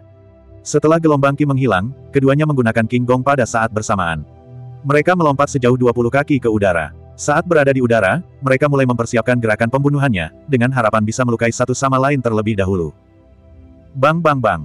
Keduanya terus bertukar pukulan, dan suara benturan tidak ada habisnya. Salah satu dari mereka memiliki kekuatan batin yang dalam, sementara yang lainnya memiliki kekuatan batin yang murni. Seolah-olah mereka berimbang. Area 60 meter di sekitar mereka telah menjadi zona pertempuran mereka. Mereka akan bertarung sejenak di darat, dan saat berikutnya, mereka akan bertarung di udara. Kecepatan mereka lebih cepat dari kelinci yang licik dan lebih cepat dari elang. Saya juga ingin menjadi seperti sepupu Yun Jue, melompat ke atap dan melompati tembok, berjalan seolah-olah terbang. Itu terlalu keren. Chen Tong tidak bisa menahan rasa iri. Jangan khawatir, sepupu centong. Kita semua akan mengalami hari seperti itu. Dengan kondisi kita, tidak sulit bagi kita untuk maju ke Martial Grandmaster. Ini hanya masalah waktu. Luo Ping melihat pertempuran di lapangan dan menjawab sambil tersenyum. Sekarang, dia sudah terbiasa dengan jenis King Gong yang bisa bergerak seolah-olah sedang terbang. Dia tidak punya banyak perasaan tentang hal itu. Sejak dia melihat pemandangan tuan lamanya menghilang di depan matanya, tujuannya telah ditetapkan. Dia harus seperti tuannya, yang bisa datang dan pergi tanpa jejak. Ketika aku juga bisa menggunakan King Gong suatu hari nanti, aku ingin melakukan perjalanan ke semua gunung dan sungai terkenal di negara sumber angin. Sepupu Ping, kamu harus menemaniku saat itu. Kata-kata Chen Xiu Xiu sangat mengejutkan. Seberapa besarkah negara sumber angin? Ingin melakukan perjalanan ke semua tempat itu hanyalah mimpi bodoh. Hanya, gadis super gila yang tak terkalahkan, yang berani memiliki gagasan seperti itu. Uh, sepupu Xiu Xiu, mari kita bicarakan jika waktunya tiba. Saat ini, yang terpenting adalah menyelesaikan krisis yang ada di depan kita, hehe. Luo Ping dengan enggan mengungkapkan senyuman menawan. Ji Baiqian, melihat ini dari samping dan sudut mulutnya sedikit terangkat membentuk senyuman. tinju ilahi angsa liar yang jatuh. Cakar angin Ling Han Yin. Luo Yunjue dan pria berjubah hitam berteriak pada saat yang sama dan menggunakan skill pamungkas mereka lagi. Rangkaian, tinju angsa liar ilahi, milik Luo Yunjue dikatakan mampu menyebabkan sekawanan angsa liar jatuh ke tanah dengan satu pukulan. Tidak hanya cepat, tapi juga kejam dan akurat. Selain itu, sangatlah penting untuk memahami dan mengendalikan kekuatan batin. Untuk itu diperlukan seseorang untuk dapat memenangkan pertempuran tanpa membuang kekuatan batin ekstra. Itu sangat cocok untuk pertarungan yang panjang. Cakar angin Ling Han Yin milik pria berjubah hitam, hanya dari namanya, orang dapat mengatakan bahwa itu bukan jenis yang baik. Saat melatih cakar ini, seseorang perlu mencari tempat yang dingin dan lembab dan merendam kedua tangannya dalam air es. Kemudian, seseorang harus menggunakan kekuatan batin untuk menahan serbuan udara dingin. Setelah 49 hari, seseorang dapat dengan bebas mencelupkan kedua tangannya ke dalam air es tanpa menggunakan kekuatan batin. Saat ini, kedua tangannya sudah terasa dingin menusuk tulang. Gelombang angin dingin dihasilkan ketika seseorang melambai dan meraih, sangat dingin. Begitu serangan mengenai musuh, udara dingin akan dengan cepat mengalir ke seluruh tubuh dengan menggunakan kekuatan batin, menyebabkan otot menjadi kaku dan gerakan melambat. Dalam sekejap, tinju Luo Yunjue dan cakar pria berjubah hitam itu akan bertabrakan. Mata pria berjubah hitam itu berbinar. Dia membuka cakarnya lebar-lebar, ingin melingkari tinju lawannya. Bagaimana Luo Yunjue bisa membiarkan dia melakukan apa yang diinginkannya? Lengannya sedikit bergerak, tidak menghadap langsung ke arahnya. Sebaliknya, dia menyerang sendi tangan pria berjubah hitam itu dari samping. Sudah terlambat bagi pria berjubah hitam untuk mengubah langkahnya. Dia hanya bisa menggunakan sendi lengannya untuk memblokir tinju lawan. Sakit dan mati rasa, dampaknya menembus jauh ke dalam sumsum -sum tulang. Inilah perasaan pertama pria berjubah hitam itu. Jika bukan karena kekuatan lengannya jauh lebih kuat daripada orang biasa dan dia menggunakan kekuatan batinnya untuk memblokir tepat waktu, lengannya mungkin akan patah karena serangan ini. Tanpa berpikir panjang, pria berjubah hitam itu segera memutar lengannya dan meraih pergelangan tangan Luo Yunjue. Dia baru saja akan menggunakan kekuatan batinnya untuk mengaktifkan kekuatan penuh, Ling Han Yin Win Claw, ketika dia melihat tangan lawannya telah mengulurkan dua jari ke arah matanya. Jika dia tidak menghindar atau memblokir, bahkan jika dia bisa membekukan lawannya, matanya pasti akan buta. Meski pria berjubah hitam itu tidak mau, dia tetap menggunakan tangannya yang lain untuk memblokir. Ini memberi Luo Yunjue waktu untuk melepaskan diri dari cakarnya. Luo Yunjue sudah lama melihat bahwa jika lawan ingin melepaskan kekuatan penuh cakar angin Yin Ling Han, dia perlu mengedarkan energi batinnya selama jangka waktu tertentu. Jadi, meski pergelangan tangannya dicengkeram, dia tidak khawatir. Sebaliknya, dia menggunakan pelecehan untuk mengganggu aktivasi kekuatan batin lawan. Ini karena dia tahu bahwa pria berjubah hitam itu adalah iblis tidak bermoral yang menggunakan segala macam metode jahat untuk meningkatkan kekuatannya. Yang paling dia takuti adalah kematian. Bahkan jika dia terluka, dia tidak akan mentolerirnya. Itu sebabnya dia berani bertaruh dengan lawannya. Benar saja, pria berjubah hitam itu benar-benar ketakutan. Dia menggunakan tangannya untuk memblokir. Luo Yunjue memanfaatkan kesempatan ini untuk melepaskan diri dari cengkeraman lawan. Dia menggunakan kedua tangannya untuk bertukar pukulan dengan lawan. Dalam waktu singkat, keduanya bertukar beberapa lusin pukulan. Pada saat ini, keduanya secara bersamaan menginjak tanah dan sekali lagi melangkah ke udara, terbang, dan bertukar pukulan. Bayangan ilahi tanpa batas. Ketika keduanya mendarat di tanah, Luo Yunjue akhirnya menggunakan keterampilan King Gong miliknya. Dia melompat dan melayang ke udara, menyerang pria berjubah hitam dari atas. Luo Ping dan yang lainnya dapat melihat dengan jelas dari jauh bahwa ada delapan Luo Yunjue yang terus-menerus menyerang pria berjubah hitam itu. Namun ketujuh sosok itu kabur dan bergerak cepat, seolah-olah bisa tertiup angin kapan saja. Pria berjubah hitam itu sangat terkejut. Dia tidak menyangka King Gong lawannya begitu hebat. Tidak hanya kecepatannya yang sangat cepat, dia sebenarnya bisa terbagi menjadi tujuh bayangan setelahnya. Termasuk dirinya sendiri, ada total delapan sosok yang menyerang dari arah berbeda pada saat bersamaan, memaksanya menjadi bingung. Apa yang tidak dia ketahui adalah bahwa Luo Yunjue juga tidak menjalani hidup dengan mudah. Membagi menjadi tujuh bayangan sudah menjadi batasnya. Setiap bayangan membutuhkan dukungan kekuatan batin agar tidak bubar. Memisahkan menjadi tujuh bayangan pada saat yang sama sudah menghilangkan 40% kekuatan batinnya. Meskipun 40% kekuatan batinnya tidak seberapa, pertarungan baru saja dimulai dan lawannya bukanlah orang yang sederhana. Semakin banyak kekuatan batin yang dia simpan, semakin besar kemungkinan dia untuk menang. Bayangan ilahi tanpa batas, adalah salah satu keterampilan King Gong terbaik. Dikatakan bahwa ketika dikembangkan ke tingkat tertinggi, satu langkah dapat menciptakan lebih dari 100 bayangan setelahnya. Terlebih lagi, kekuatan setiap bayangan tidak lebih lemah dari aslinya. Itu setara dengan memiliki lebih dari 100 pembantu pada level yang sama. Namun, alam seperti itu mungkin hanya bisa digunakan oleh ahli di atas level Martial Lord karena hanya dengan mencapai level Martial Lord seseorang dapat melepaskan energi sejati dan menyuntikkan energi sejati ke setiap bayangan untuk mencegahnya menyebar. Jadi, tidak perlu mengonsumsi terlalu banyak kekuatan batin. Misalnya, Luo Yunjue, mampu membagi menjadi tujuh bayangan dengan kekuatan batinnya pada tahap akhir level Martial Lord sudah sangat mengesankan. Ini juga karena kekuatan batinnya jauh lebih dalam daripada orang normal. Jika itu adalah pembudidaya lain dengan level yang sama, paling banyak mereka hanya dapat dibagi menjadi empat. Sebenarnya, bayangan ini tidak benar-benar ada. Hanya saja orang yang menggunakannya terlalu cepat dan meninggalkan bayangan setelah tubuhnya bergerak. Pencipta, bayangan ilahi tanpa batas, bayangan terhormat, juga seorang jenius budidaya yang berbakat dan cerdas. Beberapa ratus tahun yang lalu, dia menciptakan keterampilan ini dan menjadi terkenal selama jangka waktu tertentu. Kemudian, dia bahkan mengandalkan King Gong ini untuk memasuki peringkat iblis bumi roh surgawi di enam negara dan menduduki peringkat ke-16 dari 36 roh surgawi. Peringkat iblis bumi roh surgawi dibuat bersama oleh enam negara. Ini memilih 108 ahli terkuat dari enam negara untuk membentuk roh surgawi iblis bumi. 36 roh surgawi pada dasarnya adalah Raja Bela Diri bawaan. 72 iblis duniawi sebagian besar adalah Raja Bela Diri pasca kelahiran dan sebagian kecil adalah Raja Bela Diri. Pemeringkatan berubah setiap 50 tahun dan orang-orang yang menduduki peringkat tersebut dipilih melalui kompetisi nasional yang diselenggarakan bersama oleh enam negara. Untuk yang terhormat tanpa bayangan, berada di peringkat ke-16 dalam roh surgawi, dapat dilihat betapa kuatnya dia. Luo Yunjue juga secara tidak sengaja memperoleh keterampilan ini dan telah mengembangkannya sejak saat itu. Bisa dikatakan itu adalah salah satu keterampilannya yang sempurna. Pria berjubah hitam itu melawan dengan susah payah untuk beberapa saat dan sudah berkeringat deras dan gemetar ketakutan. Ada beberapa kali dia hampir terluka oleh bayangan itu. Tidak mudah baginya untuk mengubah bahaya menjadi keamanan. Meskipun dia tahu bahwa keterampilan King Gong pihak lain menghabiskan banyak kekuatan batin, dia tidak berani bertarung langsung. Dia juga tidak bisa menjamin bahwa dia tidak akan terluka sebelum kekuatan batin pihak lain habis. Semua kekuatan batin di tubuhnya berkumpul di tangannya. Setelah menyapu dengan kekuatan seribu tentara, pria berjubah hitam itu tiba-tiba melayang ke langit. Tubuhnya berputar cepat dan mengaduk udara di sekitarnya hingga membentuk pusaran air. Ketika dia naik ke ketinggian yang sama dengan Luo Yunjue, kecepatan putarannya hampir berhenti. Tangannya terus-menerus menamparkan ke segala arah dan akhirnya memaksa bayangan Luo Yunjue menghilang. Hanya tubuh aslinya yang tersisa berdiri di sebelah kanannya. Keduanya berhenti pada saat bersamaan. Mereka berjaga-jaga terhadap serangan diam-diam pihak lain sambil diam-diam memulihkan kekuatan batin mereka. Luo Yunjue telah lama mengendalikan bayangan setelah menyerang dan menghabiskan banyak kekuatan batin. Serangan sombong terakhir pria berjubah hitam itu juga telah menghabiskan lebih dari separuh kekuatan batinnya. Situasi keduanya saat ini bisa dikatakan hampir sama.